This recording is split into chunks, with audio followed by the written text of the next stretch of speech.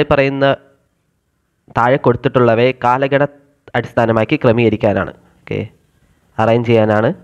കാലഘടം അടിസ്ഥാനമാക്കി ക്രമീകരിക്കാനാണ് താഴെ കൊടുത്തിരിക്കുന്നവ. ഏതാണ്?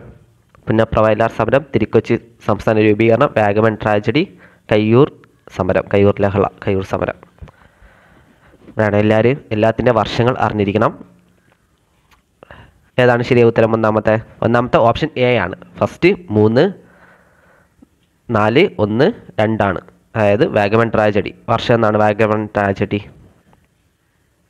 വർഷം എന്നാണ് വാഗമൺ ട്രാജഡി ആയിരത്തി തൊള്ളായിരത്തി ഇരുപത്തി ഒന്ന് ആയിരത്തി തൊള്ളായിരത്തി ഇരുപത്തി ഒന്നാണ് വാഗമൺ ട്രാജഡി അതേപോലെ കയ്യൂർ സമരം എന്നാണ് കയ്യൂർ സമരം? കയ്യൂർ സമരം.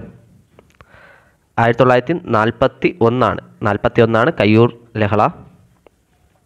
പിന്നെ പുന്നപ്ര പുന്നപ്ര വയലാർ സമരം എന്നാണ്. ആയിരത്തി തൊള്ളായിരത്തി നാൽപ്പത്തി ആറാണ് നാൽപ്പത്തി ആറാണ് പുന്നപ്ര വയലാർ സമരം. അതിനുശേഷം തിരിക്കൊച്ചി സംസ്ഥാന വിഭജനം തിരിക്കൊച്ചി സംയോജനം എന്നാണ്. ആയിരത്തി തൊള്ളായിരത്തി നാൽപ്പത്തി ഒമ്പത് ജൂലൈ ഒന്നാണ്. നാൽപ്പത്തി ഒമ്പതാണ് തിരിക്കൊച്ചി സംയോജനം ആയിരത്തി തൊള്ളായിരത്തി നാൽപ്പത്തി ഒൻപതാണ് ഇപ്പോൾ പുന്നപ്ര വയലാർ സമരം എന്നാണ്. ആയിരത്തി തൊള്ളായിരത്തി നാൽപ്പത്തി ആറ് ഈ പുന്നപ്ര വയലാർ സമരം ഓർക്കാൻ ചെറിയൊരു കോഡുണ്ട് കാരണം നാൽപ്പത്തി ഏഴിന് നമുക്ക് എന്താ സ്വാതന്ത്ര്യം കിട്ടണമല്ലോ അപ്പം നാൽപ്പത്തി ആറിന് എന്ന് പറഞ്ഞ് നമ്മൾ പിന്നപ്പറ പിന്നപ്പറ അങ്ങനെ. അങ്ങനെ ചെറുതായിട്ട് കണക്ഷൻ വെച്ച് ഓർക്കുക. പിന്നപ്പറ പിന്നപ്പറ അതായത് പുന്നപ്പറ. നാൽപ്പത്തി ആറിന് എന്ന് പറഞ്ഞ് പിന്നപ്പറ സ്വാതന്ത്ര്യം പിന്നെയാണെന്ന് പറഞ്ഞു. അപ്പോൾ പുന്നപ്പറ വയലാർ സമരം ആയിരത്തി തൊള്ളായിരത്തി നാൽപ്പത്തി ആറാണ് അതേപോലെ നമ്മുടെ കയ്യൂർ സമരം ആയിരത്തി തൊള്ളായിരത്തി നാൽപ്പത്തി ഒന്ന് നമ്മുടെ കൈ ഒന്നുപോലെ നീളത്തിലല്ലേ ഇരിക്കുന്നത് അങ്ങനെ ഓർത്താൽ മതി. കയ്യൂർ ലഹള ആയിരത്തി തൊള്ളായിരത്തി നാൽപ്പത്തി ഒന്നാണ് അടുത്ത ക്വസ്റ്റ്യൻ താഴെ കൊടുത്തിരിക്കുന്ന ലിസ്റ്റുകൾ പരിഗണിക്കുക. എന്നെ മാച്ച് ദ ഫോളോയിങ് ആണ്. നോക്കുക. റാണി ലക്ഷ്മി ഫൈ നാന സാഹിബ് കൻവർ സിംഗ് ബഹദൂർ ഷാ സഫർ. ഏതാണ് കറക്റ്റായ ഉത്തരം? രണ്ട് ഡി ആണ്. ഓക്കെ രണ്ട് ഡി ആണ്. അതായത് റാണി ലക്ഷ്മിബായി എവിടെയാണ്? ഒന്നാം സ്വാതന്ത്ര്യ സമരവുമായി ബന്ധപ്പെട്ടിരിക്കുന്നത്. ഇവിടെ ഝാൻസിയാണ് റാണി ലക്ഷ്മിബായി ഝാൻസിയാണ് അഥവാ ഗോളിയോർ എന്നും അറിയപ്പെടുന്നു. ഓക്കെ ജാൻസി റാണി ലക്ഷ്മി റാണി ലക്ഷ്മി ഫായ് ഝാൻസിയിൽ അഥവാ ഗോളിയോറിൽ. അതേപോലെ നാനാ സാഹിബ് എവിടെയാണ്? നാനാ സാഹിബ് കാൺപൂറാണ് നമുക്ക് നന്നായിട്ട് കാണാൻ പറ്റില്ല എന്ന് പറയില്ലേ? കാണാൻ നന്നായിട്ട്. ഓക്കെ നാനാ സാഹിബ് കാൺപൂറാണ് അതേപോലെ കൺവേർസിംഗ് എവിടെയാണ്? ആറ ആറ. കൺവേർസിംഗ് ആര? ഇവിടെ നാല് ബഹദൂർ ഷാ സഫർ ഇവിടെയാണ്. ഡൽഹിയിലാണ്. ഡൽഹിയിൽ ബഹദൂർ ഷാ സഫറിനെയാണ് രാജാവായിട്ട് വിപ്ലവത്തിന് ശേഷം അവിടുത്തെ ആൾക്കാർ അവരോധിക്കുന്നത്. അങ്ങനെ ഓർത്താൽ മതി ബഹദൂർ ഷാ സഫർ ഡൽഹിയാണ്. അടുത്ത ക്വസ്റ്റ്യൻ ചൗരി ചൗര സംഭവം മൂലം ഗാന്ധിജി നിർത്തിവെച്ച സമരം ഏതെന്നാണ്? ചൗരി ചൗര സംഭവം മൂലം ഗാന്ധിജി നിർത്തിവെച്ച സമരം ഏതെന്നാണ്? ഏതാണ്? നിസ്സാരണ സമരം ഉപ്പ് സത്യാഗ്രഹം റൗലറ്റ് സമരം ചമ്പാരൻ.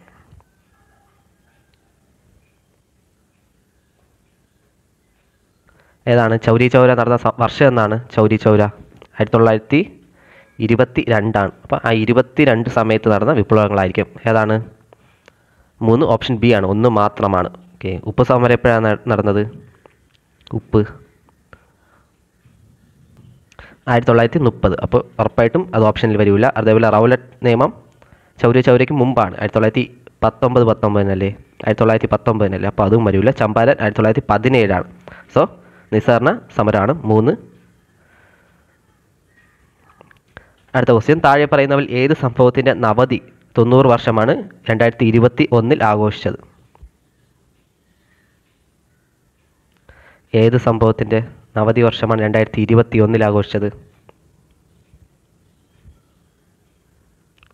ഏതാണ്? നാല്.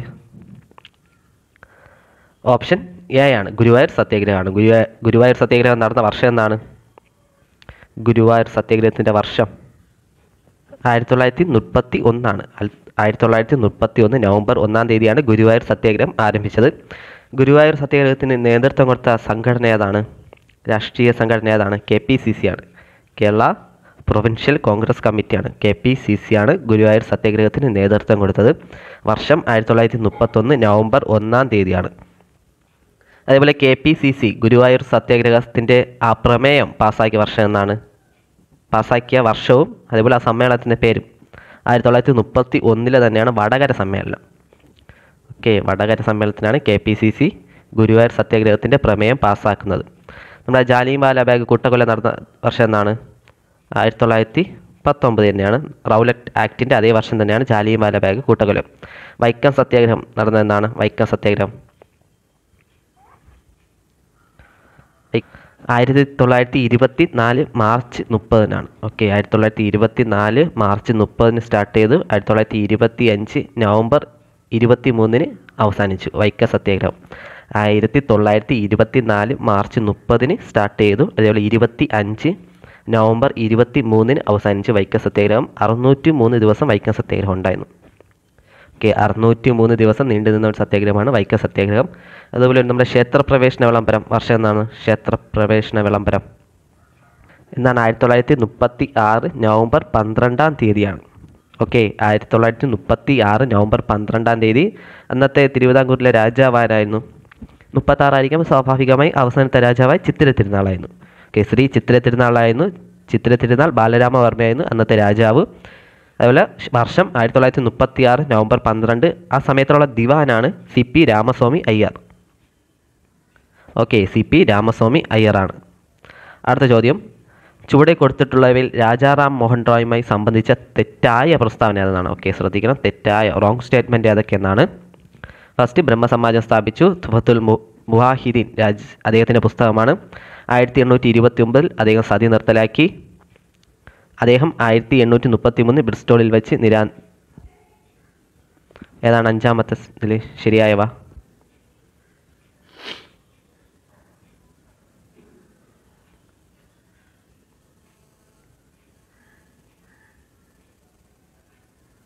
ഏതാണ്? ഓപ്ഷൻ ബി ആണ്. മൂന്ന് മാത്രമാണ് തെറ്റായ പ്രസ്താവന. ഓക്കെ. ശരിയായ സ്റ്റേറ്റ്മെന്റ് ആണ് ബ്രഹ്മസമാജം സ്ഥാപിച്ച്. വർഷം എന്നാണ് ബ്രഹ്മസമാജം. രാജാറാം മോഹൻ റോയ് ബ്രഹ്മസമാജം സ്ഥാപിച്ച വർഷം. പി എസ് സിയുടെ റിപ്പീറ്റ് ചോദ്യമാണ്. ആയിരത്തി എണ്ണൂറ്റി ഇരുപത്തി എട്ട് ഓഗസ്റ്റ് ഇരുപതിനാണ്. ഓക്കെ ആയിരത്തി എണ്ണൂറ്റി ഇരുപത്തി എട്ട് ആയിരത്തി എണ്ണൂറ്റി ഇരുപത്തി എട്ട് ഓഗസ്റ്റ് ഇരുപതിനാണ് രാജാറാം മോഹൻ റോയ് ബ്രഹ്മസമാജം സ്ഥാപിച്ചത്. അതുപോലെ തന്നെ തുഫത്തുൽ മുവാഹിദീൻ. ആരുടെ പുസ്തകമാണ് രാജാറാം മോഹൻ റോയുടെയാണ് ഇതിലൊരു കൺഫ്യൂഷൻ ഫാക്റ്റ് ഉണ്ട്. കാരണം വേറൊരു പുസ്തകം കൂടെ തുഫത്തുൽ മുജാഹിദീൻ. അതാരുടെ പുസ്തകമാണ്? തുഫത്തുൽ മുജാഹിദീൻ. ഇത് മുവാഹിദീൻ മറ്റേത് മുജാഹിദീൻ. ആരുടെ പുസ്തകമാണ്? Tuhfatul Mujahidin. P S C രണ്ടും ചോദിച്ചിട്ടുള്ളതാണ്. സൈനുദ്ദീൻ മഖ്ദും എന്നൊരു കവിയാണ് എഴുതിയത്. ഓക്കെ. തുഫത്തുൽ മുജാഹിദീൻ സൈനുദ്ദീൻ മഖ്ദും എന്ന ഒരു സാഹിത്യകാരനാണ്. പക്ഷേ തുഫത്തുൽ മുവാഹിദീൻ മുവാഹിദീൻ ആരാണ്? രാജാറാം റോയ് ഇത് ചെറിയൊരു കണക്റ്റിംഗ് ഫാക്ടർ ഉണ്ട്. ചെറിയൊരു കണക്ഷൻ വെച്ച് വെക്കാൻ വേണമെങ്കിൽ. നമ്മൾ തുഫത്തുൽ മുവാഹിദിൻ മുവാഹിദ് മുവാ മുൻസ് മൂൺ വാക്ക് എന്ന് ഓർത്താലും മതി. മുവാഹിദിൻ മൂൺ വാക്ക് ഓക്കെ നമ്മുടെ മൂൺ വാക്കിന്റെ രാജാവ് ആരാണ് മൈക്കിൾ ജാക്സൺ അല്ലേ? സോ മൂൺ വാക്ക് രാജാവ്. ഓക്കെ നമ്മുടെ രാജാക്കന്മാരൊക്കെ മൂൺ വാക്ക് ചെയ്യുന്നു. അങ്ങനെയും കണക്ട് ചെയ്ത് വയ്ക്കാം തുഫത്തുൽ മുവാഹിദീൻ രാജാറാം മോഹൻ റോയ് അതേപോലെ തുഫത്തുൻ മുജാഹിദീൻ സൈനുദ്ദീൻ മഖ്ദൂം. അതേപോലെ ആയിരത്തി എണ്ണൂറ്റി ഇരുപത്തി ഒമ്പതിൽ സതി നിർത്തലാക്കിയതാരാണ്? ജസ്റ്റ് ഒന്ന് നമ്മളൊന്ന് നമ്മുടെ ബുദ്ധി വെച്ച് ഒന്ന് ആലോചിച്ച് നോക്ക്. ഒരു രാജാറാം മോൺട്രോയ് ഓക്കെ ഒരു വെറും ഒരു നവോത്ഥാന നായകൻ. ജസ്റ്റ് ഒരു നായകനാണ്. സോ അയാൾക്ക് ഇതേപോലെ സതി പോലെ ഒരു സമ്പ്രദായം നിർത്താനുള്ള ഒരു പവർ കാണോ? ഒരിക്കലുമില്ല കാണോ? എങ്കിൽ സതി നിർത്താനുള്ള ഒരു പവർ വേണമെങ്കിൽ അയാൾ ഒന്നേ ഒരു ഗവർണർ ജനറൽ ആയിരിക്കണം അല്ലെങ്കിൽ ഒരു രാജാവായിരിക്കണം അല്ലെങ്കിൽ ഒരു മിനിമം ഒരു ദിവാനെങ്കിലും ആയിരിക്കണം. ഓക്കെ അങ്ങനെ ഒരു പദവിയിലും നമ്മുടെ രാജാറാം മോൺട്രോയ് ഇരുന്നിട്ടില്ല.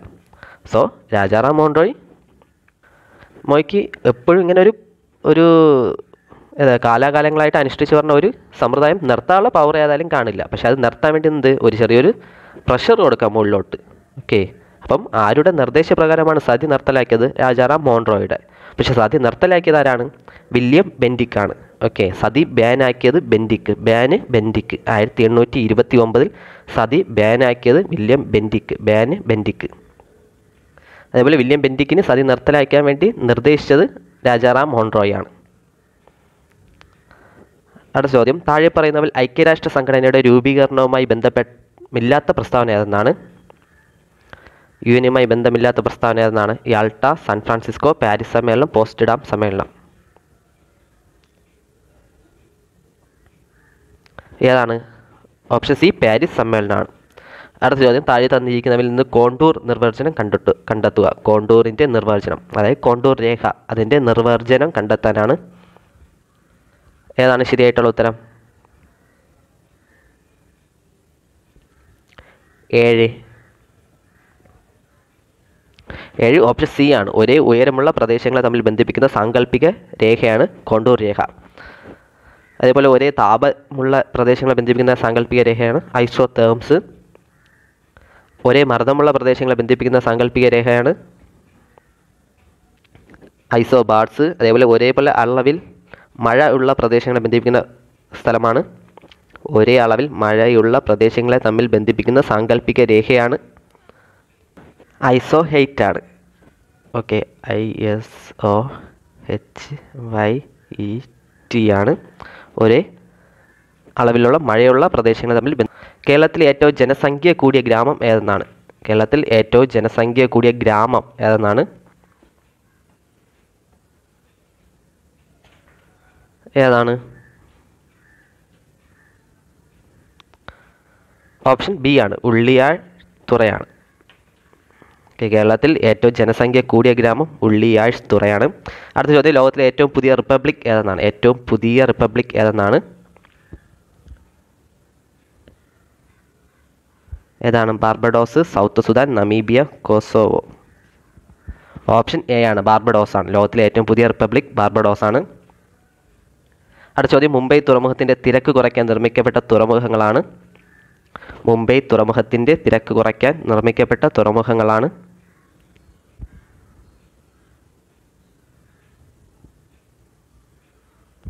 ഏതൊക്കെയാണ്?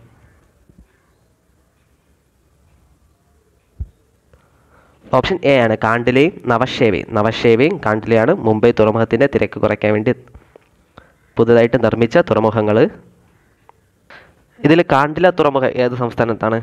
കാണ്ടില തുറമുഖം ഗുജറാത്തിലാണ്. ഓക്കെ ഗുജറാത്തിലാണ് കാണ്ടില തുറമുഖം. കാണ്ടില തുറമുഖത്തിന്റെ പുതിയ പേരാണ് ദീൻ ദയാൽ തുറമുഖം. ഓക്കെ ദീൻ ദയാലിന്റെ പേരിൽ അറിയപ്പെടുന്ന തുറമുഖമാണ് കാണ്ടില തുറമുഖം. ഗുജറാത്തിലാണ്. അല്ല നവശേവ തുറമുഖം എവിടെയാണ്? നവശേവ. ഏത്? സംസ്ഥാനത്ത് മഹാരാഷ്ട്രയിലാണ്. നവശേവ മഹാരാഷ്ട്രയിലാണ്. നവശേവ തുറമുഖത്തിന്റെ മറ്റൊരു പേരാണ് നെഹ്റു തുറമുഖം. ഓക്കെ നവശേവ. ജവഹർലാൽ നെഹ്റു തുറമുഖം എന്നറിയപ്പെടുന്ന നവശേവ തുറമുഖമാണ്. അല്ല മർമ്മഗോവ തുറമുഖം എവിടെയാണ്? പേരിൽ തന്നെ ഉണ്ട്. ഗോവയിലാണ്. ഹാൽദിയ തുറമുഖം എവിടെയാണ്? ഹാൽദിയ. എവിടെയാണ്? പശ്ചിമ ബംഗാളാണ്. ഓക്കെ കൊൽക്കത്ത ഹാൽദിയ തുറമുഖം എന്നാണ് അറിയപ്പെടുന്നത്. അതേപോലെ പാരദീപ് തുറമുഖം എവിടെയാണ്? പാരദീപ്. പാരദീപ് എവിടെയാണ് പാരദ്വീപ് ഒഡീഷയിലാണ്. പാരദ്വീപ് തുറമുഖം ഒഡീഷയിലാണ്. അടുത്ത ചോദ്യം ഇന്ത്യയുടെ വടക്കൻ സമതലങ്ങളിൽ കാണപ്പെടുന്ന മൂന്ന് പ്രധാന മേഖലയാണ്. വടക്കൻ സമതലങ്ങളിൽ കാണപ്പെടുന്ന മൂന്ന് പ്രധാന മേഖലയാണ്. ഏതാണ്? ഓപ്ഷൻ വായിച്ചാൽ മതി. അടിക്കാവുന്ന ക്വസ്റ്റ്യൻ ആണ്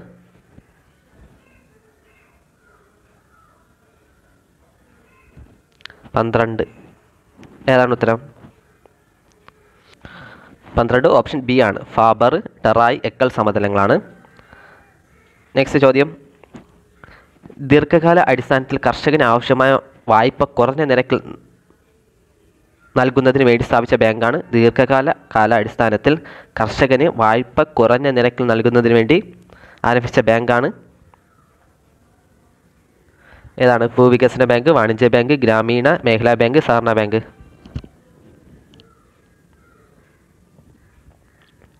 ഏതാണ്? ഓപ്ഷൻ എ ആണ് ഭൂവികസന ബാങ്കാണ് ഓപ്ഷൻ എ ഭൂവികസന ബാങ്കാണ് അടുത്ത ചോദ്യം സുവർണ വിപ്ലവം എന്നറിയപ്പെടുന്ന ഏത് ഉൽപ്പാദനത്തെയാണ് സുവർണ വിപ്ലവം എന്തുമായി ബന്ധപ്പെട്ടിരിക്കുന്നു? സുവർണ വിപ്ലവം. സുവർണ വിപ്ലവം. ഓപ്ഷൻ ബി ആണ് പഴം പച്ചക്കറിയാണ് സുവർണ വിപ്ലവം. നമ്മുടെ പാൽ വിപ്ലവത്തിന് എന്തിനാണ്? ധവള വിപ്ലവം എന്നറിയപ്പെടുന്നു. ഓക്കെ ധവള വിപ്ലവം പാലുമായി ബന്ധപ്പെട്ടാണ് സിൽവർ വിപ്ലവം എന്നുമായി ബന്ധപ്പെട്ടാണ്? സിൽവർ മുട്ടയുമായി ബന്ധപ്പെട്ടാണ്. അടുത്ത ചോദ്യം നീതി ആയോഗിന്റെ ദാരിദ്ര്യ സൂചിക പ്രകാരം ശുദ്ധജല ലഭ്യത പ്രശ്നം ഏറ്റവും കുറവുള്ള സംസ്ഥാനം. ശുദ്ധജല ലഭ്യത ഏറ്റവും കുറവുള്ള സംസ്ഥാനം ഏതെന്നാണ്? ഏതാണ്? ഓപ്ഷൻ സി പഞ്ചാബാണ്. ഓപ്ഷൻ സി പഞ്ചാബാണ്. പി സി മഹലനോബീസ് ആരംഭിച്ച പ്രസിദ്ധീകരണമാണ്. പി സി മഹലലോബീസ് ആരംഭിച്ച പ്രസിദ്ധീകരണം ഏതാണ്? അറിയാലോ ഓപ്ഷൻ പതിനാറ് എ ആണ്. സംഖ്യ എന്ന പ്രസിദ്ധീകരണമാണ്. പി സി മഹലനോബിസ് ആരാണ്? ഇന്ത്യയിലെ പ്ലാനിങ്ങിന്റെ ശില്പി ഇന്ത്യൻ ആസൂത്രണത്തിന്റെ ശില്പി എന്നറിയപ്പെടുന്നത് പി സി മഹലനോബിസ് ആണ്. അതേപോലെ ഇന്ത്യൻ സ്റ്റാറ്റിക്കൽ ഇൻസ്റ്റിറ്റ്യൂട്ട് സ്ഥാപിച്ചതും ഇദ്ദേഹമാണ്. ഇന്ത്യൻ സ്റ്റാറ്റിക്കൽ ഇൻസ്റ്റിറ്റ്യൂട്ട് സ്ഥാപിച്ചതും പി സി മഹ്ലനോബിസ് ആണ്. അതേപോലെ തന്നെ സംഖ്യ എന്ന ശില്പിയുടെ പിതാവും ഇന്ത്യൻ ആസൂത്രണത്തിന്റെ ശില്പി തുടങ്ങിയവയെല്ലാം പി സി മഹലനോബീസുമായി ബന്ധപ്പെട്ടാണ്. അതുപോലെ മഹലനോബീസ് മാതൃക എന്നറിയപ്പെടുന്ന പഞ്ചവത്സര പദ്ധതിയാണ് അത് സെക്കൻഡ് പഞ്ചവത്സര പദ്ധതിയാണ് മഹലനോബീസ് മാതൃക എന്നറിയപ്പെടുന്നത്. അടുത്ത ചോദ്യം ദാരിദ്ര്യ നിർമ്മാർജനത്തിന് ഇരുപതിനം പരിപാടികൾ നടപ്പിലാക്കിയ പഞ്ചവത്സര പദ്ധതിയാണ്. ദാരിദ്ര്യ നിർമ്മാർജനത്തിന് ദാരിദ്ര്യം എന്ന് കേട്ടാൽ ഒരേ ഒരു പഞ്ചവത്സര പദ്ധതിയേ ഉള്ളൂ അഞ്ചാം പഞ്ചവത്സര പദ്ധതി. വർഷം എന്നാണ് അഞ്ചാം പഞ്ചവത്സര പദ്ധതിയുടെ വർഷം? ആയിരത്തി തൊള്ളായിരത്തി എഴുപത്തി നാല് എഴുപത്തി എട്ടാണ് ഓക്കെ എഴുപത്തി നാല് എഴുപത്തി ഒമ്പത് വരെയുള്ള പഞ്ചവത്സര പദ്ധതിയായിരുന്നു. പക്ഷേ എഴുപത്തി എട്ടിൽ വെച്ച് നിർത്തി. ഓക്കെ എഴുപത്തി എട്ടിൽ വെച്ച് നിർത്തി റോളിംഗ് പ്ലാന് തുടങ്ങി. എഴുപത്തി എട്ട് ടു എൺപത് വരെ റോളിംഗ് പ്ലാൻ ആയിരുന്നു അപ്പം എഴുപത്തി എട്ടിൽ വെച്ചാണ് അഞ്ചാം പഞ്ചവത്സര പദ്ധതി നിർത്തലാക്കിയത് അടുത്ത ചോദ്യം. പൊതുമേഖലാ സ്ഥാപനങ്ങളും ഉടമസ്ഥ സ്വകാര്യ മേഖലയ്ക്ക് കൈമാറുന്നതിന്റെ ഭാഗമായി അവയുടെ ഗവൺമെന്റ് ഓഹരികൾ സ്വകാര്യ മേഖലയ്ക്ക് വിൽക്കുന്ന നടപടിയാണ് ഏതാണ്? പതിനെട്ട് ഓപ്ഷൻ സി ആണ് നിക്ഷേപ വിൽപ്പനയാണ്. ഓക്കെ സ്വകാര്യവൽക്കരണ അടിക്കൽ ഓപ്ഷൻ സി നിക്ഷേപ വിൽപ്പനയാണ്. അടുത്ത ചോദ്യം ഇന്ത്യൻ ഭരണഘടനയുടെ ഡ്രാഫ്റ്റിംഗ് കമ്മിറ്റി ചെയർമാൻ ആരായിരുന്നു? ഭരണഘടനയുടെ ഡ്രാഫ്റ്റിംഗ് കമ്മിറ്റി ചെയർമാൻ ആരായിരുന്നു? ഡ്രാഫ്റ്റിംഗ് കമ്മിറ്റി ചെയർമാൻ അംബേദ്കർ ആണോ നെഹ്റു ആണോ രാജേന്ദ്ര പ്രസാദ് ആണോ ലാൽ ബഹദൂർ ശാസ്ത്രി ആണോ? ആരാണ്? Option A doctor B R Ambedkar ആയിരുന്നു. ഡ്രാഫ്റ്റിംഗ് കമ്മിറ്റി നിലവിൽ വന്ന വർഷം എന്നാണ് ആയിരത്തി തൊള്ളായിരത്തി നാൽപ്പത്തി ഏഴ് ഓഗസ്റ്റ് ഇരുപത്തി ഒമ്പതാണ് ടോട്ടലി ഏഴ് മെമ്പേഴ്സാണ് ഉണ്ടായിരുന്നത് ഡ്രാഫ്റ്റിംഗ് കമ്മിറ്റിയിൽ ആയിരത്തി തൊള്ളായിരത്തി നാൽപ്പത്തി ഏഴ് ഓഗസ്റ്റ് ഇരുപത്തി ഒമ്പത് ഏഴ് മെമ്പേഴ്സ് അടങ്ങിയാണ് ഡ്രാഫ്റ്റിംഗ് കമ്മിറ്റി അടുത്ത ചോദ്യം ആയിരത്തി തൊള്ളായിരത്തി എഴുപത്തെട്ട് നാൽപ്പത്തിനാലാം ഭരണഘടന ഭേദഗതിയിലൂടെ മൗലികാവകാശം പട്ടികയിൽ നിന്ന് നീക്കം ചെയ്ത മൗലികാവകാശം ഏതെന്നാണ്? ഏതാണ്? ഓപ്ഷൻ വായിച്ചാൽ കിട്ടാവുന്ന ഉത്തരേ ഉള്ളൂ. ചൂഷണത്തിനെതിരെയുള്ള അവകാശമാണോ? സ്വത്തവകാശമാണോ? വിദ്യാഭ്യാസത്തിനുള്ള അവകാശമാണോ? മതപരമായ അവകാശമാണോ? ഇരുപത്. ഓപ്ഷൻ ബി ആണ്. സ്വത്തവകാശമാണ് ക്യാൻസലാക്കിയത് സ്വത്തവകാശം ഇപ്പോൾ നിയമപരമായ അവകാശമാണ്. ആർട്ടിക്കിൾ മുന്നൂറ് എ ആണ്. അടുത്ത ചോദ്യം. അടിയന്തരാവസ്ഥ എന്ന വ്യവസ്ഥ ഏത് രാജ്യത്തിന്റെ ഭരണഘടനയിൽ നിന്നാണ് ഇന്ത്യ കടമെടുത്തിട്ടിരിക്കുന്നത്? എമർജൻസി അടിയന്തരാവസ്ഥ എന്ന. എവിടെ നിന്നാണ്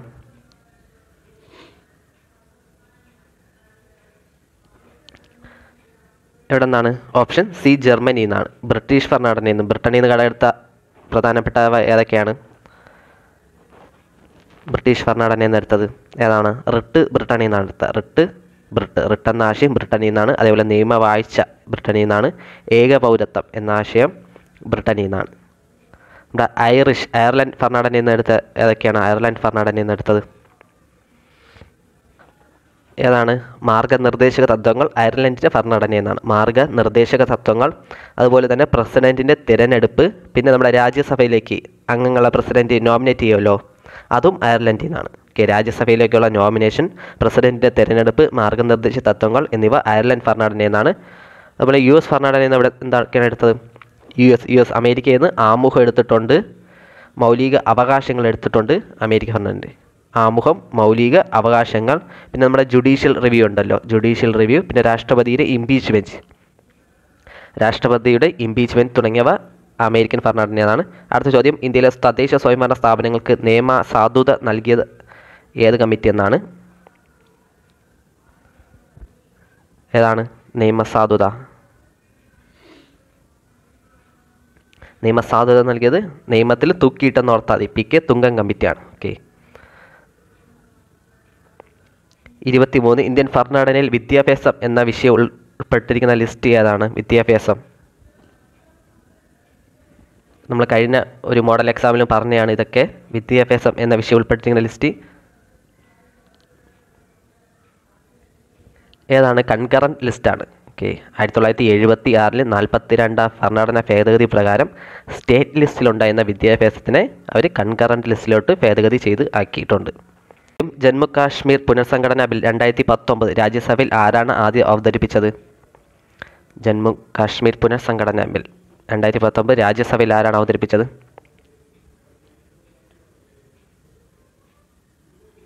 ആരാണ്? നമ്മുടെ ആഭ്യന്തരമന്ത്രിയായിട്ടുള്ള അമിത് ഷായാണ്.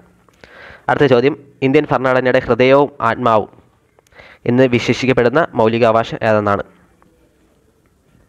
നമ്മുടെ മോഡൽ എക്സസ് സ്ഥിരമായിട്ട് അറ്റൻഡ് ചെയ്യുന്നവർക്ക് മനസ്സിലാകും ഈ ക്വസ്റ്റ്യൻസിന്റെയൊക്കെ വാല്യൂ കാരണം ഒരു സെക്കൻഡ് ടൈമാണ് ഈ ക്വസ്റ്റ്യൻ റിപ്പീറ്റ് ചെയ്ത് വരുന്നത് സെയിം ക്വസ്റ്റ്യൻ വെവ്വേറെ ക്വസ്റ്റ്യൻ പേപ്പറിലായിട്ട് റിപ്പീറ്റ് ചെയ്ത് വരുന്നത് രണ്ടാമത്തെ പ്രാവശ്യമാണ്. സോ മുൻ വർഷത്തെ ചോദ്യങ്ങൾ ഇമ്പോർട്ടന്റ് ആയിട്ട് പഠിച്ചിരിക്കണം. അത് വീണ്ടും അതേപോലെ തന്നെ റിപ്പീറ്റ് ചെയ്ത് ചോദിക്കാനുള്ള സാധ്യത ഉണ്ട് ഏതാണ്? ഹൃദയവും ആത്മാവെന്നും പറയുന്നത്. ഓപ്ഷൻ ഡി ആണ്. ഭരണഘടന പ്രതിവിധിക്കുള്ള അവകാശമാണ്. ആർട്ടിക്കിൾ മുപ്പത്തി രണ്ടാണ് മുപ്പത്തി രണ്ടാണ് ആർട്ടിക്കിൾ. അതുപോലെ മതസ്വാതന്ത്ര്യത്തിന്റെ ആർട്ടിക്കിൾ എത്രയാണ്? ഇരുപത്തി അഞ്ച് ടു ഇരുപത്തി എട്ടാണ് ഇരുപത്തി അഞ്ച് ടു ഇരുപത്തി എട്ടാണ് മതപരമായ സ്വാതന്ത്ര്യത്തിനുള്ള അവകാശം. സമത്വത്തിനുള്ള അവകാശം എത്രയാണ്? ആർട്ടിക്കിൾ സമത്വത്തിനുള്ള അവകാശം. സമത്വം. ആർട്ടിക്കിൾ പതിനാല് പതിനെട്ടാണ്. സമത്വം പതിനാല് പതിനെട്ടും ആർട്ടിക്കിൾ പതിനാല് ടു പതിനെട്ട് വരെയും. അതുപോലെ സ്വാതന്ത്ര്യത്തിനുള്ള അവകാശം ആർട്ടിക്കിൾ പത്തൊമ്പത് ടു ഇരുപത്തി രണ്ട് വരെയാണ്. ഓക്കെ. സമത്വത്തിനുള്ള അവകാശം ആർട്ടിക്കിൾ പതിനാല് ടു പതിനെട്ട് സ്വാതന്ത്ര്യത്തിനുള്ള അവകാശം ആർട്ടിക്കിൾ പത്തൊമ്പത് ടു ഇരുപത്തി രണ്ട് അതുപോലെ മതസ്വാതന്ത്ര്യം ആർട്ടിക്കിൾ ഇരുപത്തി അഞ്ച് ടു ഇരുപത്തിയെട്ട് ഭരണഘടനാപരമായ പ്ര- പ്രതിവിധിക്കുള്ള അവകാശം പരിഹാരങ്ങൾക്കുള്ള അവകാശം ആർട്ടിക്കിൾ മുപ്പത്തി രണ്ടാണ് അടുത്ത ചോദ്യം. സുപ്രീം കോടതി ചീഫ് ജസ്റ്റിസിനെ നിയമിക്കുന്ന ആരാണ്? ആരാണ്? ആരാണ്? Option B രാഷ്ട്രപതിയാണ്.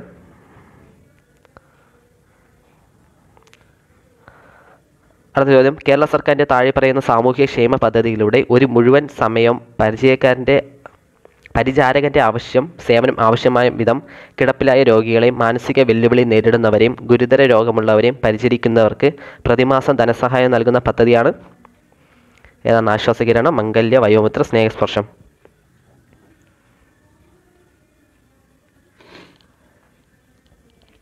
ഏതാണ് പരിചരിക്കുന്നവർക്ക് ചെറിയ ആശ്വാസം കൊടുക്കുന്നത്? ആശ്വാസ കിരണമാണ് അടുത്ത ചോദ്യം. കേരളത്തിലെ പൊതുവിദ്യാഭ്യാസ വകുപ്പ് ആവിഷ്കരിച്ച കൈറ്റ് നേതൃത്വം നൽകുന്ന വിദ്യാഭ്യാസ ടെലിവിഷൻ ചാനലാണ് വിക്ടേഴ്സ്. ഏത് ഉപഗ്രഹത്തിന്റെ സഹായത്തോടെയാണ് വിക്ടേഴ്സ് പ്രവർത്തിക്കുന്നത്? ഏതാണ്?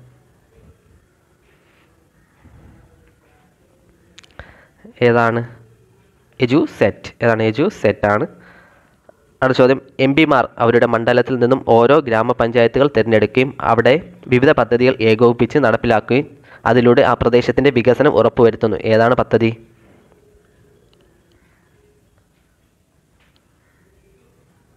ഏതാണ്? ഓപ്ഷൻ സി സൻസദ് ആദർശ് ഗ്രാമ യോജനയാണ്. സൻസദ് ആദർശ് ഗ്രാമ യോജനയാണ്. അടുത്ത ക്വസ്റ്റ്യൻ ആണ്. കേരളത്തിലെ രണ്ടാമത്തെ മുഖ്യമന്ത്രി. കേരളത്തിലെ രണ്ടാമത്തെ മുഖ്യമന്ത്രി ആരെന്നാണ്? ആരാണ്? R Sankar E M S Pattom Thanu Pillai C Achutha Menon രണ്ടാമത്തെ ഓപ്ഷൻ സി പട്ടം താണുപിള്ളയാണ്. കേരളത്തിലെ ആദ്യത്തെ മുഖ്യമന്ത്രി ആരാണ്? ഇ എം എസ് ആണ്. അറിയാലോ? അടുത്ത് കൊഴിഞ്ഞ ഇലകൾ ആരുടെ ആത്മകഥകളാണ്? കൊഴിഞ്ഞ ഇലകൾ ആരുടെ ആത്മകഥകളാണ്? കൊഴിഞ്ഞ ഇലകൾ കൊഴിഞ്ഞ ഇലകൾ എവിടാണ്? ജോസഫ് മുണ്ടശ്ശേരിയിലാണ്. കൊഴിഞ്ഞ ഇലകൾ ജോസഫ് മുണ്ടശ്ശേരിയിലാണ്. നമുക്ക് ഫസ്റ്റ് ക്വസ്റ്റ്യൻ നോക്കാം. ഒന്നാമത്തെ ക്വസ്റ്റ്യൻ സി ഇ ഒമ്പതാം നൂറ്റാണ്ടിൽ മാർസാപ്പിയർ ഈഷോ എന്ന ക്രൈസ്തവ കച്ചവടക്കാരന് വേണാട് നാട് വഴി നൽകിയ അവകാശം ഏതെന്നാണ്? ഏതാണ് ഒന്നാമത്തെ? ജ്യോതിശാസ്ത്രം ബി തരിസാപ്പള്ളി സി തിരുമണ്ണൂർ ശാസ്ത്രം ഡി മുത്തു ഏതാണ്? ഒന്ന്. ഒന്ന് ബി ആണ്. ഓക്കെ തരിസാപ്പള്ളി ശാസ്ത്രമാണ്. രണ്ടാമത്തെ ചോദ്യം. ഫക്രാനങ്കൽ അണക്കെട്ടിന്റെ നിർമ്മാണത്തിന് പങ്കെടുത്ത ഏക വിദേശി ആരായിരുന്നു? ഏക വിദേശി ആരെന്നാണ്? ഫക്രാനങ്കൽ അണക്കെട്ടാണ്. ആരാണ്? ഓപ്ഷൻ ഡി ആണ്. ഓക്കെ ഇത് നല്ല റാങ്ക് മേക്കിംഗ് ചോദ്യമായി തന്ന്. ഹാർവി സ്ലോക്കാണ്. ഫക്രാനങ്കൽ അണക്കെട്ടിന്റെ നിർമ്മാണത്തിന് പങ്കെടുത്ത ഏക വിദേശി. നമ്മുടെ റോബർട്ട് ബ്രിസ്റ്റോ ആരാണ്? Robert Bristow. നമ്മുടെ ആധുനിക കൊച്ചി തുറമുഖം ഉണ്ടല്ലോ അതിന് ചെറിയൊരു സംഭാവന നൽകിയിട്ടുണ്ട്. അതുപോലെ നമ്മുടെ വെല്ലിംഗ്ടൺ ദ്വീപ് വെല്ലിംഗ്ടൺ ദ്വീപ് പണി പണികഴിപ്പിച്ചത് നമ്മുടെ റോബർട്ട് ബ്രിസ്റ്റോയാണ്. നമ്മുടെ അൽമേഡ ആരാണ്? Francis Almeida. നമ്മുടെ സെന്റ് ആഞ്ചലോസ് കോട്ട അഥവാ കണ്ണൂർ കോട്ട എന്നറിയപ്പെടുന്ന ആഞ്ചലോസ് കോട്ട പണികഴിപ്പിച്ചത് അൽമേഡയാണ്. അതേപോലെ അങ്ങനെ ഒരു വാട്ടർ പോളിസി ഉണ്ട് അത് ബ്ലൂ വാട്ടർ പോളിസി അഥവാ നീലജല നയം അൽമേഡ സംഭാവനയാണ്. മൂന്നാമത്തെ ചോദ്യം. മൗലാന അബ്ദുൽ കലാം ആസാദ് പ്രസിദ്ധീകരിച്ച പത്രത്തിന്റെ പേരെന്തെന്നാണ്? മൗലാന അബ്ദുൽ കലാം ആസാദ് പ്രസിദ്ധീകരിച്ച പത്രത്തിന്റെ പേര്.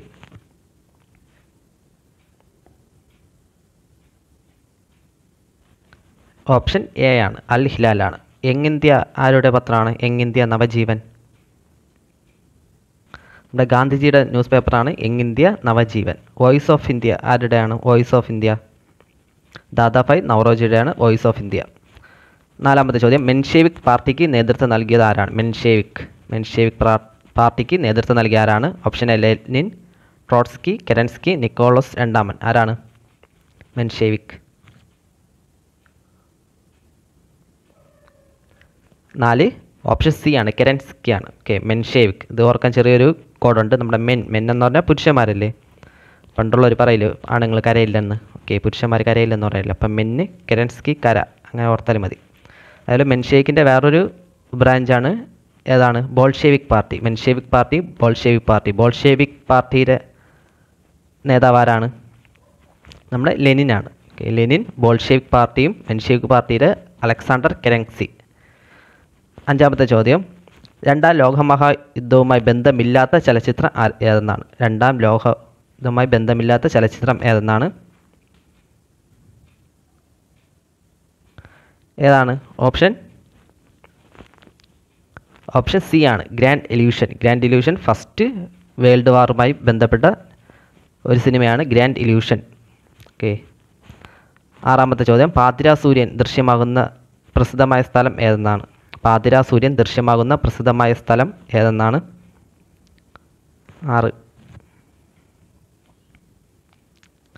ഏതാണ്? ആറ് ബി. ഹമർ ഫൈറ്റ് ആണ്. ഏഴാമത്തെ ചോദ്യം മാർബിൾ ഏത് ഉദാഹരണമാണ്? മാർബിൾ ഏത് തരം ശിലയ്ക്ക് ഉദാഹരണമാണ്?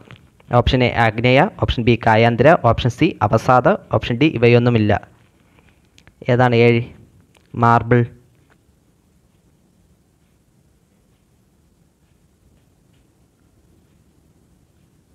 ഏതാണ് ഓപ്ഷൻ ബി കായാന്തര ശിലയ്ക്ക് ഉദാഹരണമാണ്? ഏഴ് ഓപ്ഷൻ ബി ആണ്. നമ്മുടെ അവസാദ ശിലയ്ക്ക് ഉദാഹരണം ഏതാണ്? അവസാദ ശിലയ്ക്ക്. കളിമണ്ണ് കോട്സ് അതേപോലെ കാൽസൈറ്റ് തുടങ്ങിയാണ് ഏത് അവസാദ ശിലകൾക്ക് ഉദാഹരണം. ആഗ്നേയ ശിലകൾക്ക് ഉദാഹരണമാണ്. ആഗ്നേയ ശിലകൾക്ക്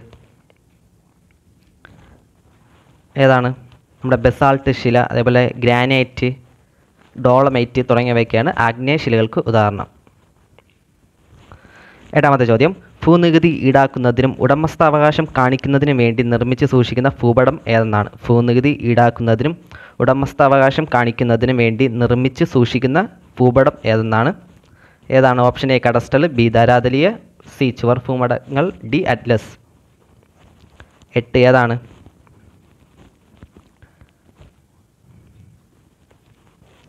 എട്ട് ഓപ്ഷൻ എ ആണ് കടസ്റ്റൽ ഭൂപടങ്ങളാണ്.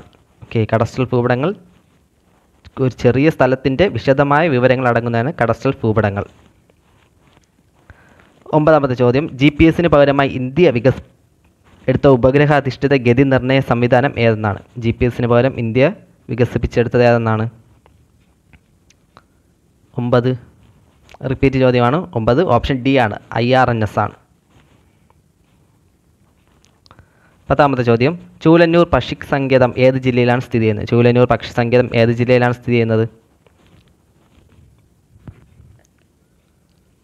ചൂലന്നൂർ പാലക്കാട് ചൂലന്നൂർ പാലക്കാട്. ഇന്ത്യയിലെ നിയമനിർമ്മാണ വിഭാഗം ഏതാണ്? ഇന്ത്യയുടെ നിയമങ്ങൾ നിർമ്മിക്കുന്ന വിഭാഗം ഏതാണ്? സുപ്രീം കോടതി ഹൈക്കോടതി പാർലമെന്റ് കേന്ദ്രമന്ത്രിസഭ. എളുപ്പ ചോദ്യമാണ്. ഓപ്ഷൻ സി ആണ് പാർലമെന്റാണ് പന്ത്രണ്ടാമത്തെ ചോദ്യം വിവരാവകാശ നിയമം നിലവിൽ വന്ന വർഷം. റൈറ്റ് ടു ഇൻഫർമേഷൻ ആക്ട് നിലവിൽ വന്ന വർഷം.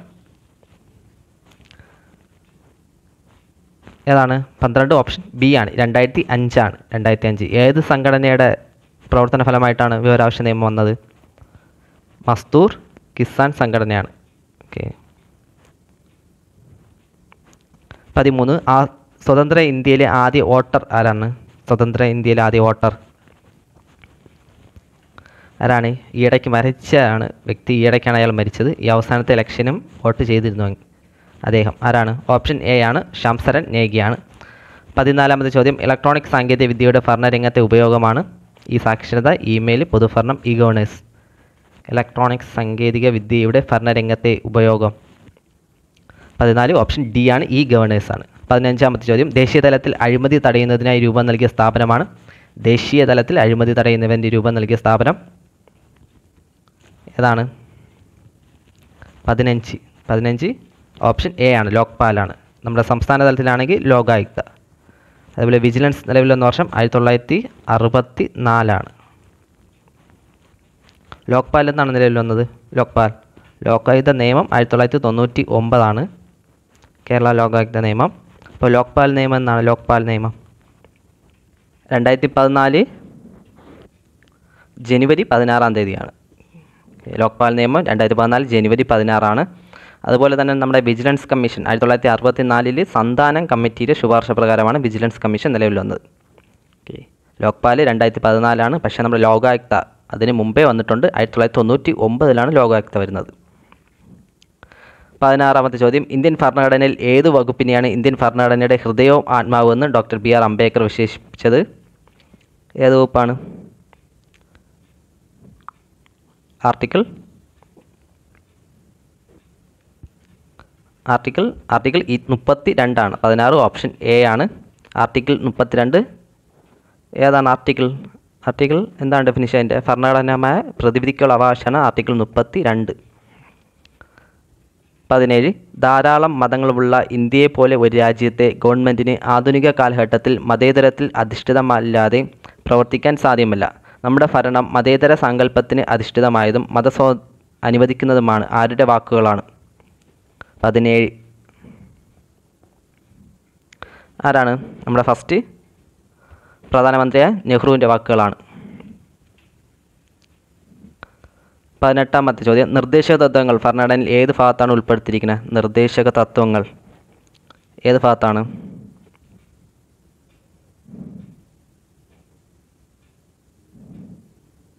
ഏതാണ്? പതിനെട്ട്. പതിനെട്ട് ഓപ്ഷൻ ഡി ആണ്. നാല് ഭാഗത്താണ്. നാലാം ഭാഗത്താണ്.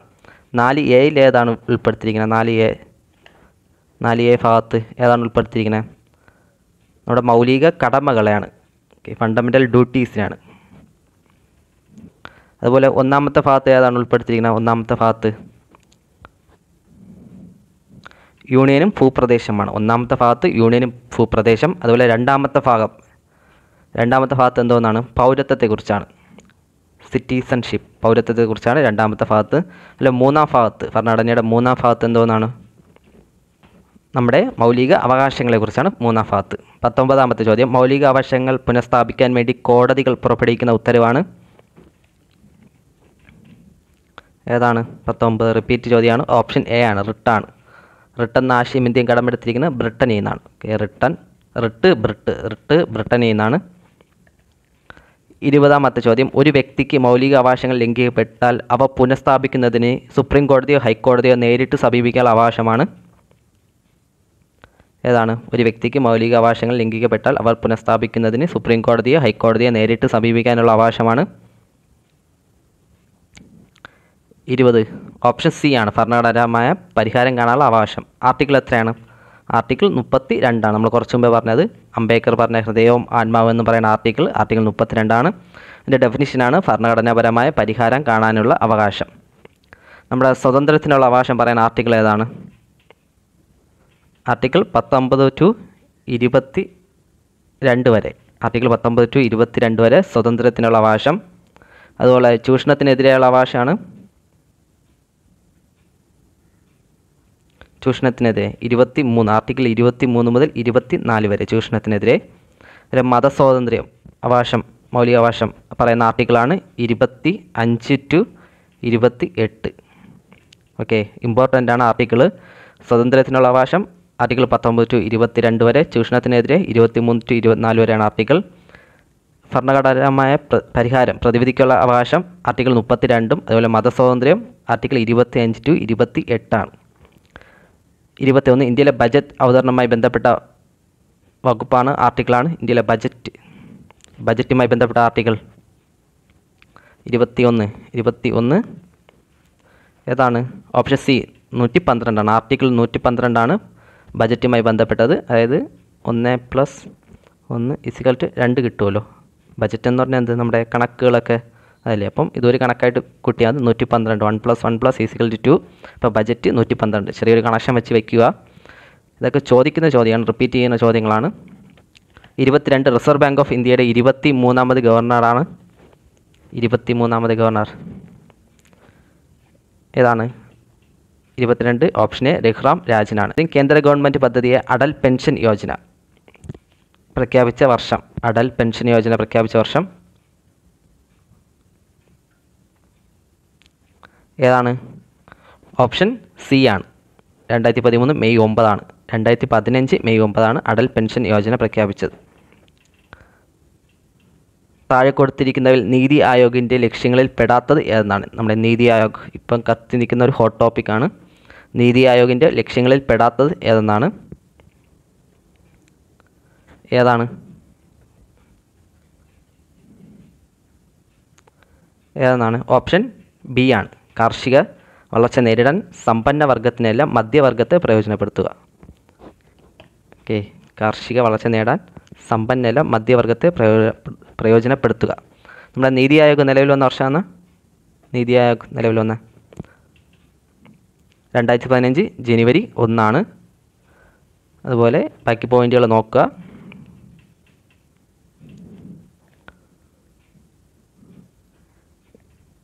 ഇരുപത്തിയഞ്ചാമത്തെ ചോദ്യം. ഇന്ത്യൻ സമ്പദ് വ്യവസ്ഥയിൽ പ്രാഥമിക മേഖലയിൽ ഉൾപ്പെടുന്ന സാമ്പത്തിക പ്രവർത്തനം. പ്രാഥമിക മേഖലയിൽ പ്രൈമറി സെക്ടറിൽ ഉൾപ്പെടുന്ന സാമ്പത്തിക പ്രവർത്തനമാണ് ഇരുപത്തിയഞ്ച്.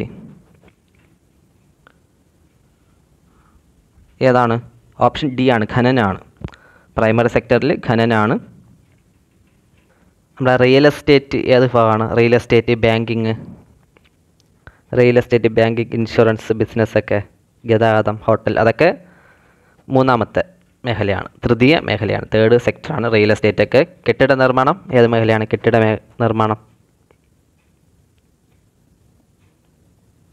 ഏതാണ്? സെക്കൻഡാണ് കെട്ടിട നിർമ്മാണം സെക്കൻഡാണ് വ്യവസായവും സെക്കൻഡാണ് കെട്ടിട നിർമ്മാണം വ്യവസായം അതൊക്കെ സെക്കൻഡ് മേഖലയാണ്. അതുപോലെ ബാങ്കിങ് തേർഡ് മേഖലയാണ്. കേരളത്തിലെ പൊതുമേഖലാ സ്ഥാപനങ്ങളുടെയും അവ സ്ഥിതി ചെയ്യുന്ന സ്ഥലങ്ങളുടെയും പട്ടികയിൽ ശരിയായ ജോഡി തിരഞ്ഞെടുക്കാനാണ് first Hindustan newspaper Kottayam H M T limited Ernakulam Hindustan organic chemicals limited Thiruvananthapuram. ഇതിൽ ഏതാണ് ശരിയായ ജോഡി എന്നാണ്? എവിടെയാണ്? ഏതൊക്കെയാണ് ശരിയായത്?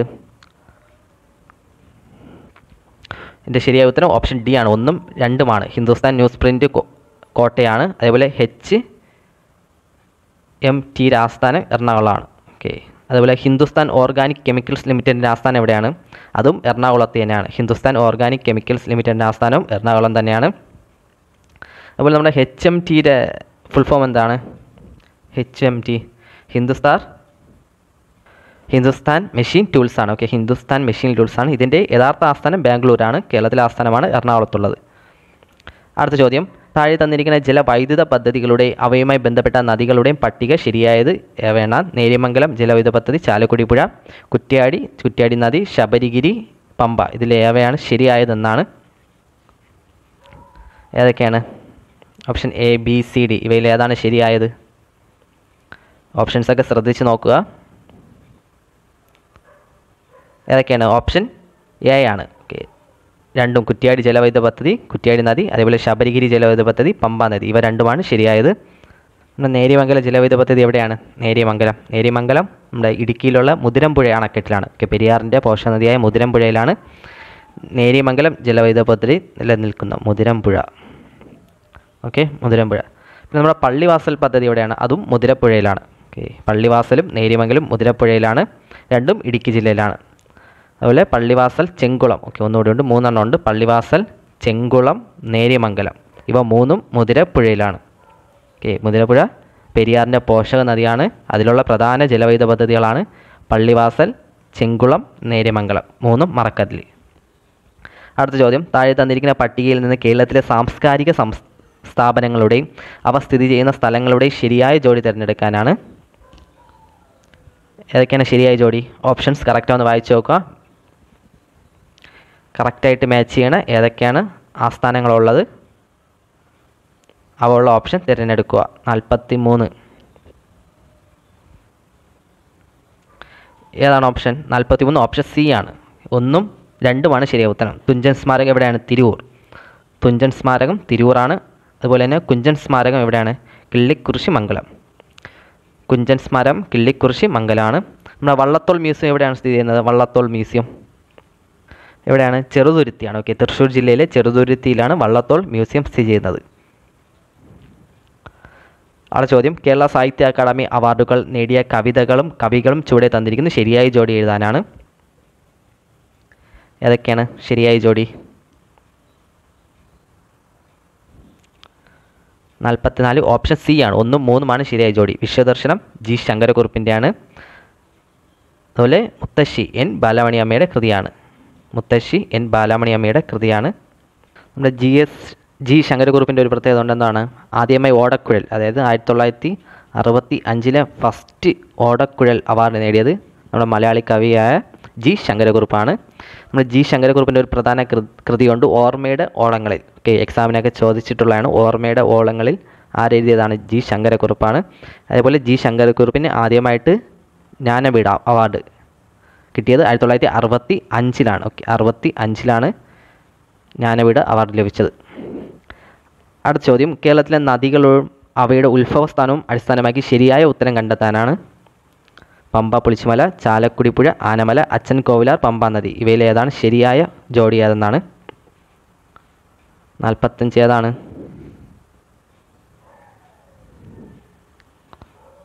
നാൽപ്പത്തഞ്ച് ഓപ്ഷൻ ബി ആണ്. ഒന്നും രണ്ടുമാണ് ശരിയായത്.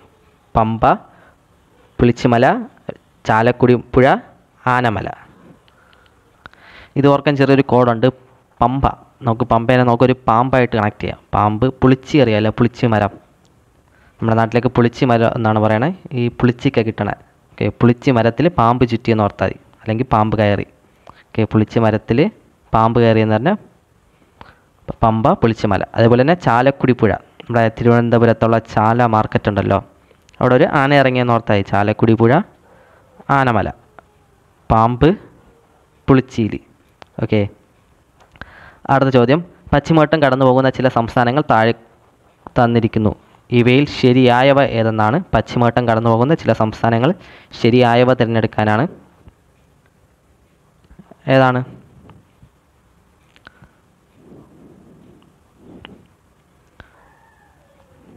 ഏതൊക്കെയാണ്?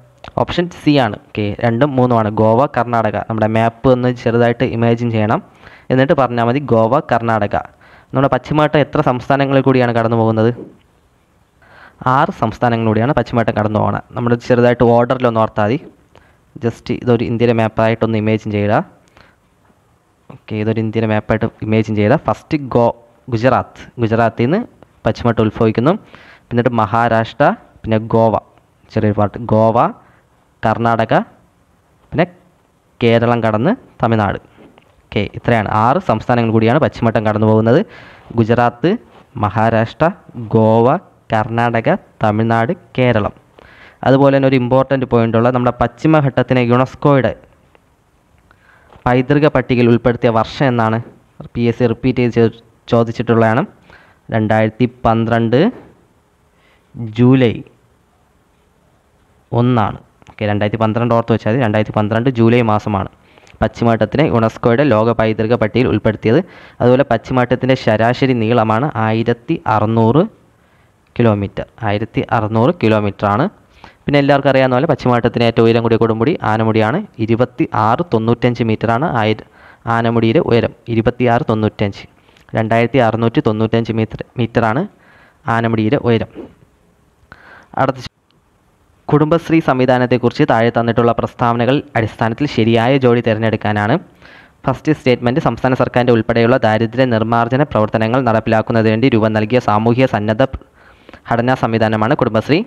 ഈ സാമൂഹിക സംഘടനാ സംവിധാനത്തിന്റെ ഭരണസമിതി തിരഞ്ഞെടുപ്പ് മൂന്ന് വർഷത്തിലൊരിക്കൽ നടത്തേണ്ടതാണ്. കുടുംബശ്രീ ത്രിതല സംഘടനാ സംവിധാനത്തിന്റെ അടിസ്ഥാന ഘടകമാണ് കുടുംബശ്രീ ഒരു ഏരിയ ഡെവലപ്മെന്റ് സൊസൈറ്റി. ഈ മൂന്ന് സ്റ്റേറ്റ്മെന്റിൽ ശരിയായിട്ടുള്ള ജോഡി ഏതെന്നാണ്?